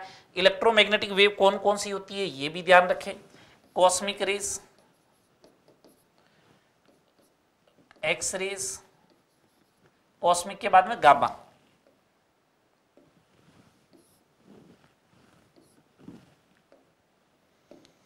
कॉस्मिक के बाद में गामा गामा के बाद में एक्सरेज एक्सरेज के बाद में अल्ट्रावायलेट उसके बाद विजिबल उसके बाद इंफ्रारेड उसके बाद माइक्रो उसके बाद रेडियो आप जब ऐसे जाते हो तो वेवलेंथ बढ़ता है फ्रीक्वेंसी कम होती है फ्रीक्वेंसी कम होगी तो इनकी एनर्जी कंटेंट भी कम होगा। क्योंकि मैक्स प्लांक की क्वांटम थ्योरी कहती है ई इज़ इक्वल टू क्या होता है? एच न्यू होता है। ओके? अच्छा एटॉमिक स्ट्रक्चर पीछे से था ठीक है। टू थाउज़ेंड ट्वेंटी वन का क्वेश्चन है a particular state of All India Radio New Delhi broadcast on a frequency of 1368 kilo hertz the wavelength of the electromagnetic radiation emitted by the transmitter is All India Radio नई दिल्ली का एक station जो है वो इतने kilo hertz की आवृत्ति पर प्रसारण करता है। तो उत्सर्जित विद्युत चुंबकीय विकिरण की तरंग धीरे धीरे मीटर में कितना होगा, ये क्वेश्चन पूछा गया तो सिंपल सा तरीका C is equal to nu lambda अभी जो फॉर्मूला बोला है three into ten is the power eight one three six eight kilo hertz है, ये लीजिएगा इंटू लेमडा इस क्वेश्चन में काफ़ी कैलकुलेशन आया है। अगर आप इसे सॉल्व करते हैं तो ये आएगा। 219.28 के आसपास आएगा। 28 को अगर राउंड ऑफ़ करेंगे तो ये आएगा फिर। ओके नेक्स्ट 45 नैनोमीटर के तरंग दैर्ध्य के प्रकाश के लिए ऊर्जा का मान जूल में निकालो। Calculate the energy in joule corresponding to light of a wavelength of 40 45 nanometer ठीक है, अभी मैंने बोला है कि मैक्स प्लांक ये बोलता है कि किसी भी ब्लैक बॉडी से रेडिएशन का जो रेडिएशन जो एमिट होता है, वो डिसकंटिन्यूस मैनर में होता है, न कि कंटिन्यूस मैनर में। इट मीन्स एनर्जी जो होता है ब्लैक बॉडी, वो एक छोटे छोटे पैकेट के फॉर्मेट में रिलीज़ करता है। उन छोटे पैकेट को जो है, वो क्वांटा बोला जाता है और इन केस ऑफ़ लाइट उस क्वांटा को क्या बोला जाता है? फोटोन बोला जाता है। एक फोटोन की जो एनर्जी होती है वो एच न्यू के बराबर होता है या न्यू के डायरेक्टली प्रपोजनल टू होता है मैक्स प्लांक की क्वांटम थ्योरी अपन को पता है कि फोटोन के लिए मीन्स इलेक्ट्रोमैग्नेटिक वेव के लिए न्यू जो होता है वो सी बाई लेमडा के बराबर होता है. वन टू का four double zero upon lambda अगर आपने लेमडा एंगेस्ट्रॉम में लिखा है तो एनर्जी किसमें आएगा? इलेक्ट्रॉन वोल्ट में. तो एनर्जी का फॉर्मूला हो गया वन टू का four double zero upon lambda जो आएगा वो किसमें आना चाहिए? एंगेस्ट्रॉम में आना चाहिए. फॉर्मूला समझ में आ गया, वन, टू का four, double zero upon lambda angstrom में तो energy electron volt. Sir, joule में पूछेगा तो कन्वर्ट कर लेंगे।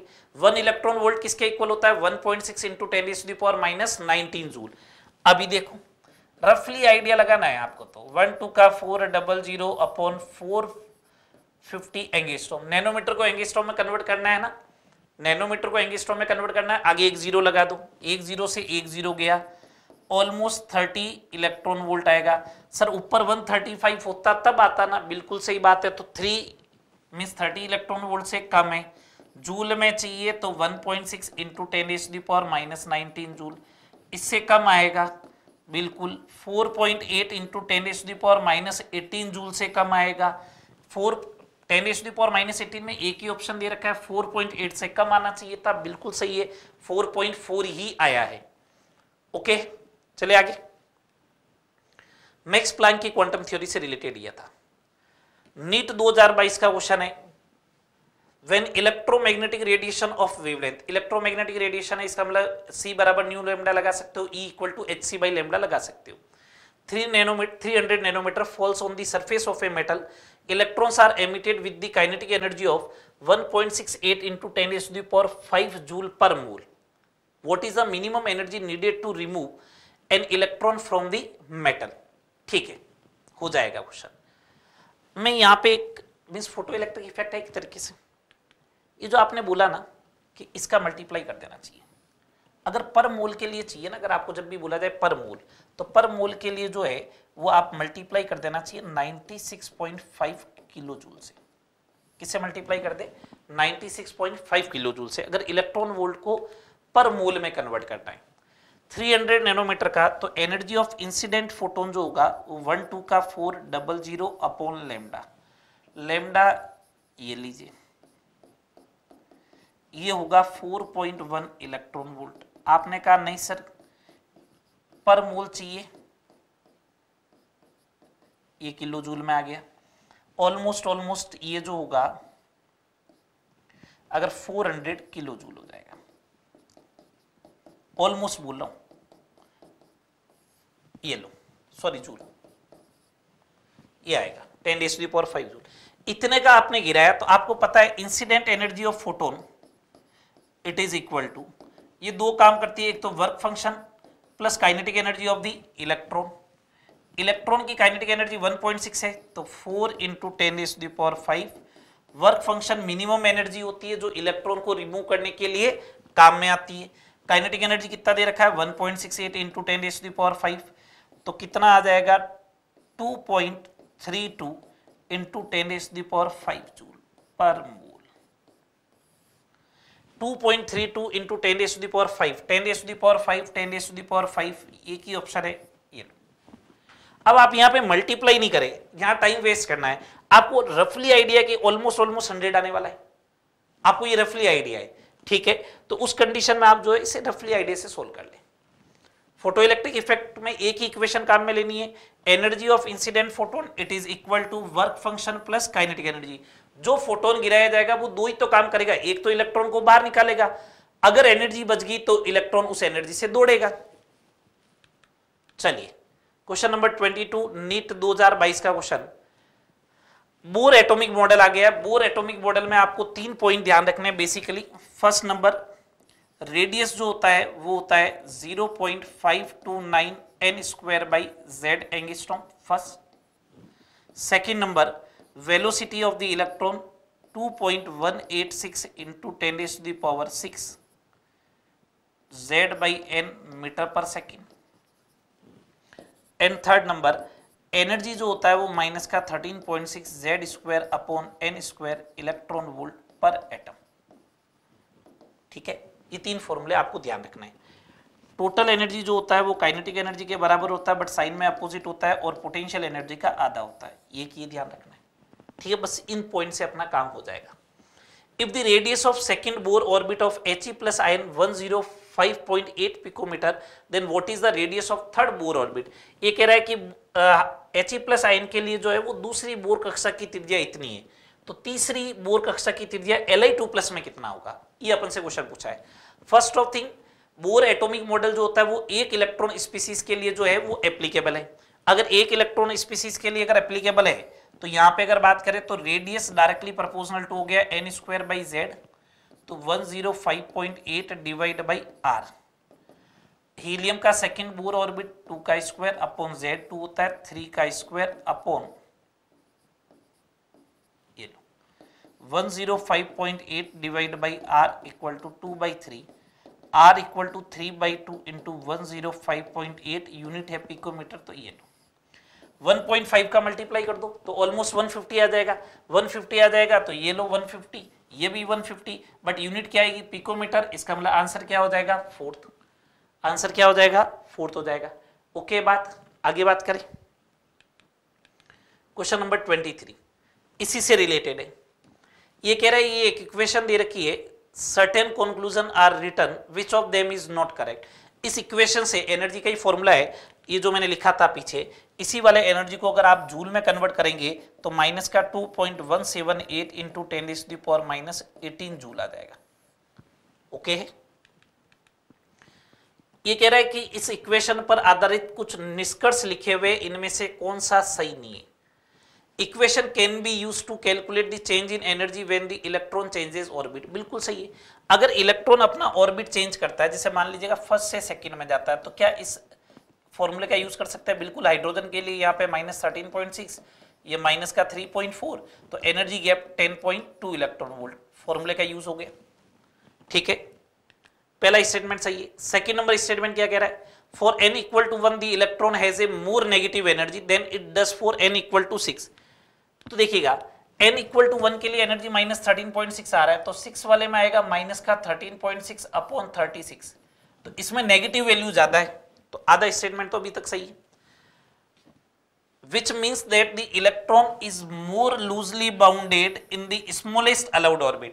ये गलत है, इसने कहा है कि इसका मतलब ये है कि जो सबसे छोटा अनुमत कक्ष होता है, उसमें इलेक्ट्रॉन अधिक ढिलाई से बंधे होंगे। बिल्कुल गलत है।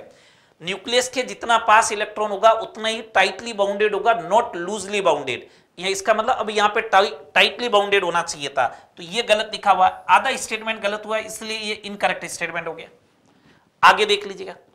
The negative sign in equation simply means that the energy of the electron bound to the nucleus is lower than it would be if the electron were at infinite distance from the nucleus. ये कह रहा है ऋणात्मक चिन्ह, ये बताएगा कि electron nucleus से आबंध है। उसकी ऊर्जा कम होगी उन इलेक्ट्रॉनों से जो न्यूक्लियस से इनफाइनाइट डिस्टेंस पे। फोर्स ऑफ़ अट्रैक्शन लगता है तो पोटेंशियल एनर्जी नेगेटिव में आती है। इनफाइनाइट डिस्टेंस पे जब इलेक्ट्रॉन होता है तो न्यूक्लियस और इलेक्ट्रॉन के बीच में फोर्स ऑफ़ अट्रैक्शन ज़ीरो हो जाता है तो कोई अट्रैक्शन नहीं है तो उसकी एनर्जी भी ज़ीरो हो जाएगी। और जब फोर्स ऑफ़ अट्रैक्शन है तो एनर्जी क्या रहेगी? नेगेटिव रहेगी। इसका मतलब ये कहना चाह रहा है कि यहाँ पे जो है वो फोर्स ऑफ़ अट्रैक्शन लग रहा है। लास्ट ये स्टेटमेंट सही? Larger the value of n the larger is the orbit radius ये देखिएगा। एन की वैल्यू ज़्यादा होगी तो रेडियस भी ज़्यादा होगी। तो फोर्थ स्टेटमेंट करेक्ट है तो इनकरेक्ट स्टेटमेंट कौन सा हो गया? सेकेंड ओके okay, जो फॉर्मूले लिखे उसी से रिलेटेड क्वेश्चन है। Which of the following series of transition in the spectrum of hydrogen atom falls in visible region NEET 2019 का क्वेश्चन है। हाइड्रोजन परमाणु के स्पेक्ट्रम में निम्न में से कौन सी संक्रमण श्रेणी दृश्य क्षेत्र में पड़ती है। क्वेश्चन ये बोला गया हाइड्रोजन परमाणु के स्पेक्ट्रम में निम्न में से कौन सी संक्रमण श्रेणी दृश्य क्षेत्र में पड़ती है? सिंपल सा लिखते सीरीज़ कौन सी होती है? जो काम के पॉइंट है, स्पेक्ट्रम में वो बोल रहा हूँ। उसके लिए n1 की वैल्यू क्या हो? N2 की वैल्यू क्या हो? रीजन क्या होगा? लाइमन सीरीज़ सबसे पहले, उसके बाद बामर सीरीज़ उसके बाद पाशन सीरीज़ उसके बाद ब्रैकेट उसके बाद Pfund series one two three four five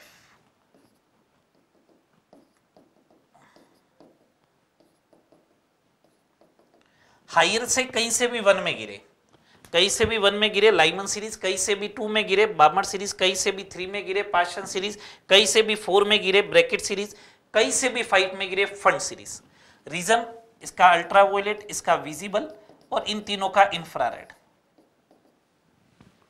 अपन से सीधा सा क्वेश्चन इसने पूछा विजिबल रीजन में कौन सा होना चाहिए? बामर सीरीज़ होना चाहिए? Fourth is the correct answer एक तो ये पॉइंट ध्यान रखना है। एक ये बोलता है कि कौन सा ट्रांजिशन मैक्सिमम एनर्जी का होगा, कौन सा ट्रांजिशन मिनिमम एनर्जी का होगा? एनर्जी मैक्सिमम बोलो या फ्रीक्वेंसी मैक्सिमम बोलो, एक ही बात है वेवलेंथ मिनिमम बोलो, एक ही बात है। तो उस कंडीशन में जो ट्रांजिशन हो रहा है, यहाँ से या, ये मिनिमम होना चाहिए, ये मैक्सिमम होना चाहिए। बस, ये ध्यान रखें। प्रायोरिटी इसको है, इसको प्रायोरिटी मिलेगी। ठीक है? एनर्जी मिनिमम चाहिए आपको तो फ्रीक्वेंसी भी मिनिमम होगी।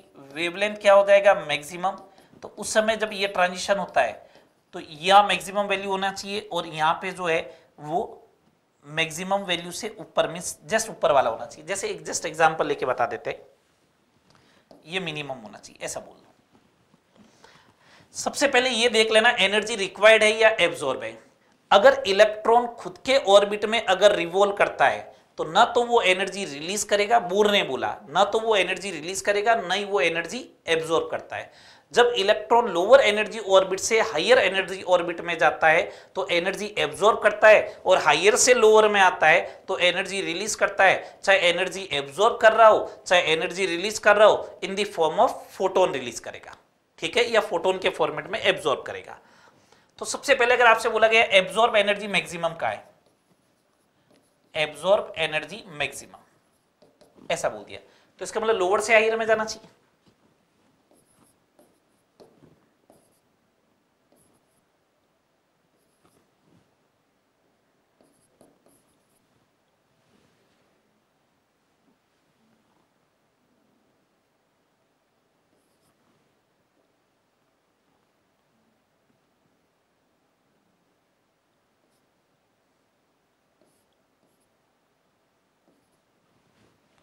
लोअर से हाइयर में। तो ये तो गलत हो गया। अब जब लोअर से हाइयर में जाएगा एब्जॉर्ब की बात कर रहा है तो एब्जॉर्ब के टाइम में आपको उल्टा पढ़ना है, ठीक है? उल्टा कैसे पढ़ना है? ये मिनिमम जो लिखा हुआ, ये ऐसे उल्टा हो जाएगा, ठीक है? ये वाली वैल्यू मिनिमम रखनी चाहे आप इधर से देख लो, कोई फ़र्क नहीं पड़ेगा, लेकिन देखना है इधर से। ये वाली वैल्यू मिनिमम होनी चाहिए तो ये एब्जॉर्ब एनर्जी जो आएगा, वो क्या आएगा? मैक्सिमम आ जाएगा। उल्टा करके पढ़ ले, जब भी एब्जॉर्ब बोले, इनको रिवर्ट कर दे। ये ऐसे हो गया। ये तो ऑप्शन कैंसिल आउट हो गया। इनफाइनाइट से टू सिक्स से फाइव और ये टू से वन ये मिनिमम वैल्यू है तो ये आ जाएगा। इसको अगर आप ऐसे पढ़ते रिलीज़ एनर्जी मैक्सिमम तो रिलीज़ एनर्जी होना चाहिए था तो रिलीज़ एनर्जी के टाइम क्या करते? ये सारे एब्जॉर्ब हो जाते, ये रिलीज़ हो जाता। ठीक है? अगला क्वेश्चन क्या कह रहा है? डी ब्रोगली कंसेप्ट आया है तो डी ब्रोगली कंसेप्ट कहता क्या है? वो समझ लेते हैं। डी ब्रोगली कहता है, जिस टाइप से लाइट जो होता है, वो ड्वेल नेचर शो करता है, उसी टाइप से मैटर भी ड्वेल नेचर शो करता है। पार्टिकल नेचर और वेव नेचर पार्टिकल नेचर जो होता है, वो मोमेंटम से रिप्रेजेंट होता है, और वेव नेचर जो होता है, वो वेवलेंथ से रिप्रेजेंट होता है। और पार्टिकल नेचर जो होता है, वो वेवलेंथ नेचर के या वेव नेचर के इनवर्सली प्रपोजनल टू होता है तो lambda it is equal to h by p h upon m v h upon root two m E equal to h upon root two m q into voltage difference ये okay अब second number point क्या ध्यान रखना है? De Broglie ये कहता है, जब इलेक्ट्रॉन न्यूक्लियस के चारों ओर चक्कर लगाता है ऐसे तो वो अपने साथ वेव भी बनाएगा ये इस टाइप से। कितनी वेव बन गई? एक, दो, तीन। तो बन गया जब ये पार्टिकल नेचर और वेव नेचर दोनों शो कर रहा है तो पार्टिकल नेचर में इसने distance two pi r travel किया। एन वेव बनी तो एन लेमडा डिस्टेंस ट्रेवल किया। यहाँ पे एन जो है वो नंबर ऑफ़ वेव है। है ना? मैंने तो ये माना है। तो two pi r equal to n lambda की जगह लिख दिया है। एच अपॉन एम वी तो ये हो गया m v r equal to n h upon two pi. अब यहाँ पे एन जो होता है वो नंबर ऑफ़ ऑर्बिट के बराबर होता है। तो इसका मतलब number of wave and number of orbit जो है वो बराबर है। तो इसका मतलब जब इलेक्ट्रॉन किसी ऑर्बिट में रिवॉल्व करता है तो कितनी वेव बनाएगा, उतनी वेव बनाएगा, जिस ऑर्बिट में वो क्या कर रहा है रिवॉल्व कर रहा है। उतनी वेव बनाएगा, जिस ऑर्बिट में वो क्या कर रहा है रिवॉल्व कर रहा है। सेकंड ऑर्बिट में रिवॉल्व कर रहा है तो दो वेव बनाएगा। ठीक है? आइए, ये कंसेप्ट ये बोर एटॉमिक मॉडल को एक्सप्लेन कर रहा है। अपन से पूछा हाइड्रोजन एटम में the de Broglie wavelength of electron in the second Bohr orbit is given that Bohr radius a naught hydrogen परमाणु में द्वितीय बोर कक्षा में इलेक्ट्रॉन की डी ब्रोगली तरंग दैर्ध्य क्या है? तो एक सिंपल सा तरीका है। Two pi r equal to n lambda. ये लगा दी two pi r divide by n हो गया।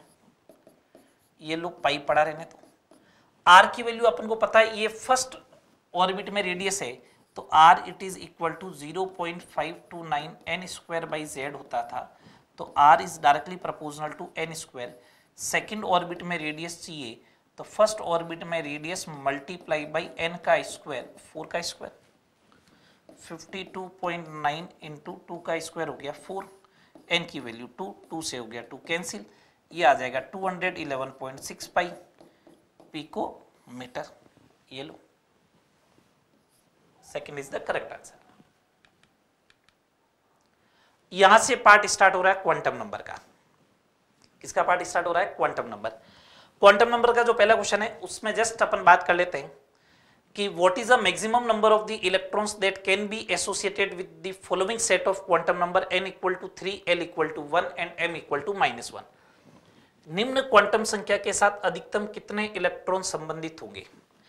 अगर आपको प्रिंसिपल क्वांटम नंबर मींस आपको सेल अगर डिफाइन करना है, अगर आपको सेल या ऑर्बिट डिफाइन करना है तो एक ही क्वांटम नंबर चाहिए एन आपको सबसेल अगर डिफाइन करना है तो दो क्वांटम नंबर चाहिए एन एंड एल और अगर आपको एक ऑर्बिटल अगर रिप्रेजेंट करना है तो तीन क्वांटम नंबर चाहिए एन एल एंड एम तीन क्वांटम नंबर चाहिए कि कौन कौन सी? N l and m okay? तीन क्वांटम नंबर चाहिए। तीन क्वांटम नंबर ही तो दे रखी ये लो। अगर तीन क्वांटम नंबर दे रहा है तो अब सुन लो। Maximum number of electron in a orbit two n square. Subshell में two into two l plus one और ऑर्बिटल में मैक्सिमम नंबर ऑफ़ इलेक्ट्रॉन होता है टू। इसका मतलब ये तीन क्वांटम नंबर मिलके एक ऑर्बिटल रिप्रेजेंट कर रहा है और एक ऑर्बिटल में मैक्सिमम कितने इलेक्ट्रॉन होंगे? टू। कितने इलेक्ट्रॉन होंगे? टू हो जाएँगे। ये इसका आंसर हो गया। ठीक है? ये बात हो गई सारी। ये काम के कीवर्ड मैंने लिख दिया। Next twenty seven what is the maximum number of orbitals that can be identified with the following quantum number? ठीक है? ये कह रहा है निम्न क्वांटम संख्या के लिए अधिकतम अभी निर्धारित कक्षकों की संख्या क्या होगी? इसे बोला मैक्सिमम नंबर ऑफ़ ऑर्बिटल्स सीधी सी बात है, तीन क्वांटम नंबर से एक ही ऑर्बिटल डिफाइन होता है। अभी मैंने लिखा है तो first is the correct answer देखो, ये क्वेश्चन रिपीट होता है। 28 the angular momentum of electron in d orbital is equal to simple सा तरीका है। एक होता है ऑर्बिट एंगुलर मोमेंटम। एक होता है ऑर्बिट एंगुलर मोमेंटम। ये तो आता है बोर एटॉमिक मॉडल से। जे। ये होता है n h upon two pi. Principal quantum number का यूज़ करना है।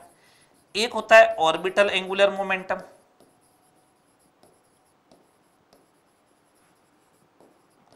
ये कैलकुलेट होता है root l into l plus one h upon two pi. इधर मैं सबसेल लिख रहा हूँ और इधर उनके लिए एल की वैल्यू लिख रहा हूँ। एस के लिए ज़ीरो पी के लिए वन डी के लिए टू एफ़ के लिए थ्री एल की वैल्यू ज़ीरो से लेके एन माइनस वन तक होती है। एन की वैल्यू जो होता है, वो होता है कहाँ से? वन से लेके इन्फाइनाइट और एम की वैल्यू जो होता है, वो माइनस एल से प्लस एल इंक्लूडिंग ज़ीरो और एस की value plus half minus half okay ये वैल्यू आपको ध्यान होगी। डी के लिए पूछा तो डी के लिए एल की वैल्यू टू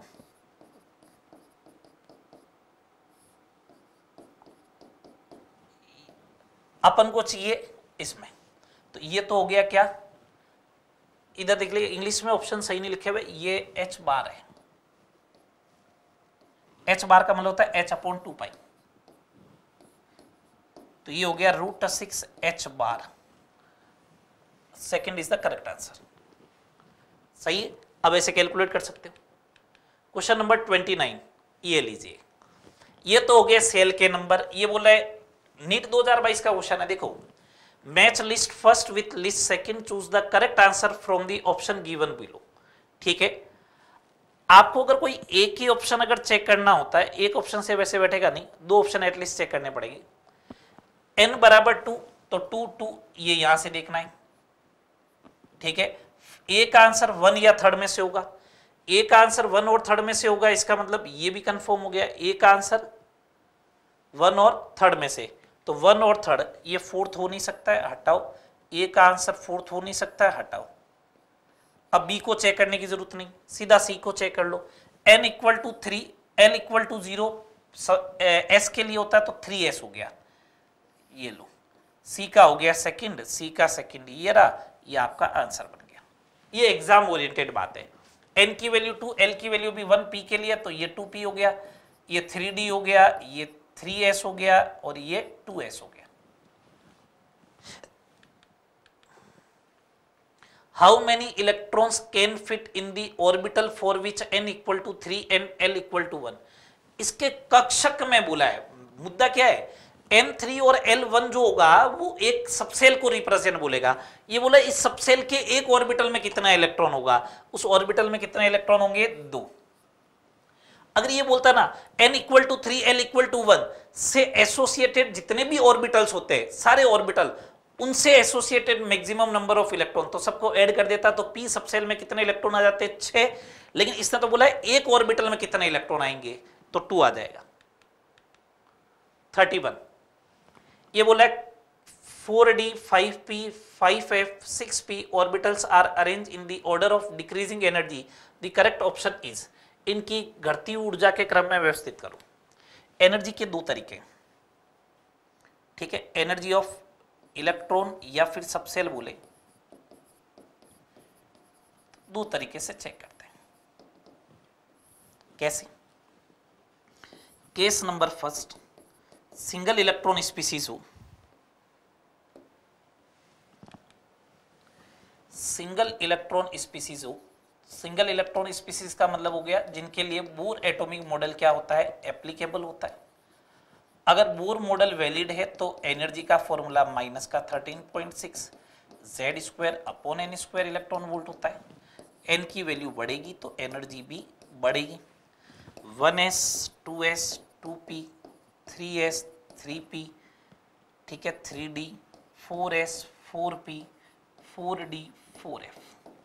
N की वैल्यू बढ़ गई एन की वैल्यू बढ़ गई एन की वैल्यू बढ़ गई। जिनके लिए एन सेम उनकी एनर्जी भी सेम ये तो सिंगल इलेक्ट्रॉन स्पीसीज हाइड्रोजन जैसे हो गए। लेकिन मल्टी इलेक्ट्रॉन स्पीसीज होता है, जिनमें इलेक्ट्रॉन एक से ज़्यादा होता है, उसमें एनर्जी जो होता है, वो ओनली फॉर एन पे डिपेंड नहीं करता है। एनर्जी को कौन रिप्रेजेंट करता है? एन प्लस एल जिसके लिए एन प्लस की एल की वैल्यू मैक्सिमम उसके लिए एनर्जी भी मैक्सिमम किसी केस में एन प्लस एल की वैल्यू सेम आ जाए, उस कंडीशन में एन की वैल्यू मिनिमम तो एनर्जी भी मिनिमम ये कंसेप्ट होता है। ठीक है? जैसे three d four p three four l की value two one n plus l five five n plus l अगर सेम आ गया, उस कंडीशन में आपको सीधा ये चेक करना है कि एन की वैल्यू ज़्यादा किसके लिए? फोर पी तो फोर पी की एनर्जी ज़्यादा होगी किससे? थ्री डी से ओके है? ये एन प्लस एल का रूल है। अब आते हैं इस वाले क्वेश्चन पे। ये बोला है दी करेक्ट ऑप्शन बताइएगा। इसका करेक्ट ऑप्शन क्या होगा? मेरे पास ऑर्बिटल है four d five p five f six p n की वैल्यू एल की value n plus l four two six five one six five three eight six one seven five f की सबसे ज़्यादा होगी। ये गया ये गया। फाइव एफ़ के बाद में सिक्स पी। सही चल रहे दोनों जगह। उसके बाद में जब दोनों सेम आ जाए तो एन की वैल्यू ज़्यादा five p third is the correct answer बहुत एलिमेंट्री सा क्वेश्चन है। देखो, नीट 2015 में इससे पहले क्वेश्चन आया है which is the correct order of increasing energy of the listed orbital in the atom of titanium titanium single electron species नहीं है ना मल्टी इलेक्ट्रॉन है वैसे भी 22 इलेक्ट्रॉन है उसके अंदर। तो अगर 22 इलेक्ट्रॉन है तो उसमें चेक करने का तरीका यही तो रहना चाहिए। एन प्लस एल का रूल लगाओ। कौन कौन से ऑर्बिटल है? Four s, three s, three p, three d n की वैल्यू चार, ज़ीरो चार। Three zero three. Three one four. Three two five. तो सबसे ज़्यादा थ्री डी की। ये लो, थ्री डी तो ये गया। थ्री डी के बाद में एन और एल प्लस यहाँ पे सेम तो फोर एस थ्री डी के बाद में फोर एस ये लो। Third is the correct answer thirty three दो इलेक्ट्रॉन जो एक ही कक्षक में, उनमें अंतर किसके द्वारा किया जा सकता है? पाउली एक्सक्लूजन प्रिंसिपल ये बोलता है कि किसी भी एटम में दो इलेक्ट्रॉन की चारों क्वांटम नंबर सेम नहीं हो सकती है, तीन ही क्वांटम नंबर मैक्सिमम सेम होगी। इसका कंक्लूजन ये निकलता है, एक ऑर्बिटल में मैक्सिमम दो इलेक्ट्रॉन होते हैं और उनका स्पिन क्वांटम नंबर जो होगा, वो अपोजिट होगा means one orbital contains maximum two electron with opposite spin जब उनका स्पिन अपोजिट हुआ तो उनका स्पिन क्वांटम नंबर क्या होगा? एक का प्लस हाफ़ तो दूसरे का माइनस हाफ़ तो दो इलेक्ट्रॉन है एक ही ऑर्बिटल में तो वो अपोजिट स्पिन के होंगे। अगर अपोजिट स्पिन के होंगे तो उनकी कौन सी क्वांटम नंबर जो होगी, वो 100 परसेंट डिफरेंट होगी स्पिन क्वांटम नंबर ये लो। ये पाउली एक्सक्लूजन प्रिंसिपल है। मैंने स्टेटमेंट बोला है, दो इलेक्ट्रॉन की चारों क्वांटम नंबर सेम एटम में कभी भी इक्वल नहीं हो सकती है। कंक्लूजन क्या? एक ऑर्बिटल में मैक्सिमम दो electron with opposite spin 34 NEET 2017 का क्वेश्चन है। Which one is the wrong statement Heisenberg का अनसर्टेनिटी प्रिंसिपल ये कहता है कि माइक्रोस्कोपिक सिस्टम होता है, उनके लिए पोजीशन और मोमेंटम का एक साथ simultaneously accurate measurement is not possible momentum and position का एक्यूरेट मेज़रमेंट एक साथ पॉसिबल नहीं है। माइक्रोस्कोपिक सिस्टम होना चाहिए, अपने जैसा मैक्रोस्कोपिक नहीं होना चाहिए मींस इलेक्ट्रॉन हाइजेनबर्ग का अनसर्टेनिटी प्रिंसिपल ये होता है delta x into delta p जो होता है, वो greater than equal to h upon four pi होता है। ये उन सबके लिए वैलिड है। क्यों देखिएगा इधर जो यूनिट आ रही है, वो जूल इंटू सेकेंड है। तो इधर भी यूनिट क्या होगी? जूल इंटू सेकेंड तो हाइजेनबर्ग का अनसर्टेनिटी प्रिंसिपल उन सबके लिए वैलिड होता है, जिनके लिए यूनिट क्या होती है? जूल इंटू सेकेंड तो देखिएगा, इधर यूनिट जूल इंटू सेकेंड है तो एनर्जी जूल में, ये सेकेंड में तो इसके लिए भी वैलिड है, पहला सही। Half filled and fully filled orbitals have greater stability due to greater exchange energy and greater symmetry and more balance arrangement बिल्कुल सही है। हाफ़ फ़ील्ड और फुल फ़ील्ड ऑर्बिटल जो होते हैं, वो स्टेबिलिटी के रीजन एक तो सिमेट्री उसके अंदर ज़्यादा होती है और एक एक्सचेंज एनर्जी अब आपके दिमाग में आ रहा है एक्सचेंज एनर्जी क्या होती है? एक्सचेंज एनर्जी का मतलब होता है सेम स्पिन के इलेक्ट्रॉन पैरेलल स्पिन के इलेक्ट्रॉन अपनी पोजीशन एक्सचेंज करते हैं। तो जो एनर्जी एसोसिएट होगी, ये वाला इसके साथ कर सकता है, ये इधर ये इधर। तीन, चार, पाँच और ये वाला छः कितने एक्सचेंज हुए? छः। ये अगर हाफ़ फ़ील्ड कॉन्फ़िगरेशन लेता हूँ तो इसके लिए नंबर ऑफ़ एक्सचेंज देखना। ये चार, ये तीन, ये दो, ये एक तो टोटल एक्सचेंज कितने? दस। नंबर ऑफ़ एक्सचेंज ज़्यादा है तो एक्सचेंज एनर्जी ज़्यादा होगी। इसका मतलब इनकी स्टेबिलिटी ज़्यादा होगी। ये भी सही स्टेटमेंट है। ट्रू है। ट्रू है। The energy of 2s orbital is less than the energy of 2p orbital in case of hydrogen like atom. Hydrogen like atom में energy only for किसके ऊपर डिपेंड करता है? N पर। अगर n की वैल्यू सेम है तो एनर्जी भी क्या होगी? सेम होगी। अगर n की वैल्यू सेम है तो एनर्जी भी क्या होगी? सेम होगी। ये देखिएगा क्वेश्चन कहाँ किया था? ये लो। 2s और 2p की एनर्जी क्या होगी? देखो सेम है हाइड्रोजन लाइक एटम में। तो ये कह रहा है कि लेस होनी चाहिए तो गलत बोल रहा है वो तो। फॉल्स स्टेटमेंट है। डी ब्रोगली वेवलेंथ का formula lambda is equal to h upon m v last question देखिएगा। 35 which one is the wrong statement? The electronic configuration of nitrogen atom 1s to 2s to 2p z ये गलत हो गया भैया। किसके according गलत हो गया। Hund's rule of maximum multiplicity wrong statement first ही हो गया। Hund's rule of maximum multiplicity ये कहता है कि जब इलेक्ट्रॉन को डीजनरेट ऑर्बिटल में फिल किया जाता है, उस कंडीशन में maximum number of unpaired electron with parallel spin आपको मिलना चाहिए। Maximum number of unpaired electron with parallel spin आपको मिलना चाहिए। ये रूल ऑफ़ मैक्सिमम मल्टीप्लिसिटी है। यहाँ पे maximum number of unpaired electron तो मिल गए, लेकिन क्या तीनों का स्पिन पैरेलल है क्या? नहीं। तो ये पहला स्टेटमेंट रॉन्ग हो गया। डी जेड स्क्वायर के लिए एम की वैल्यू ज़ीरो होती बिल्कुल सही है। डी जेड स्क्वायर के लिए एम की वैल्यू ज़ीरो होगा पी जेड के लिए भी एम की वैल्यू ज़ीरो होता है। Orbital is design by three quantum number अभी बोला। इलेक्ट्रॉन के लिए चार क्वांटम नंबर चाहिए एन एल एम और एस ठीक है? Total orbital angular momentum of electron is in S orbital is equal to zero तो जब एल की वैल्यू एस ऑर्बिटल के लिए ज़ीरो होती है तो इसके लिए क्या आ जाएगा? ज़ीरो तीनों स्टेटमेंट ट्रू है, पहला स्टेटमेंट फॉल्स है। ओके ये अपन ने इस वाले चैप्टर के अंदर एटॉमिक इस वाले वीडियो के अंदर atomic structure and redox reaction कर लिए। ठीक है? तो तीन टॉपिक अपन कर चुके हैं। थर्टी फाइव क्वेश्चन भी कर लिए। ठीक है? जितने एग्ज़ाम में थर्टीन से लेके 22 तक क्वेश्चन आए। ट्रेंड ईयर आज देखिएगा एटॉमिक स्ट्रक्चर के ऑलमोस्ट 21 क्वेश्चन है हर साल दो क्वेश्चन आते हैं। और बहुत सिंपल से एलिमेंट्री उनके आसपास के जितने भी क्वेश्चन बनने की पॉसिबिलिटी थी, वो भी मैंने आपको एक जस्ट आइडिया दे दिया है। Okay thank you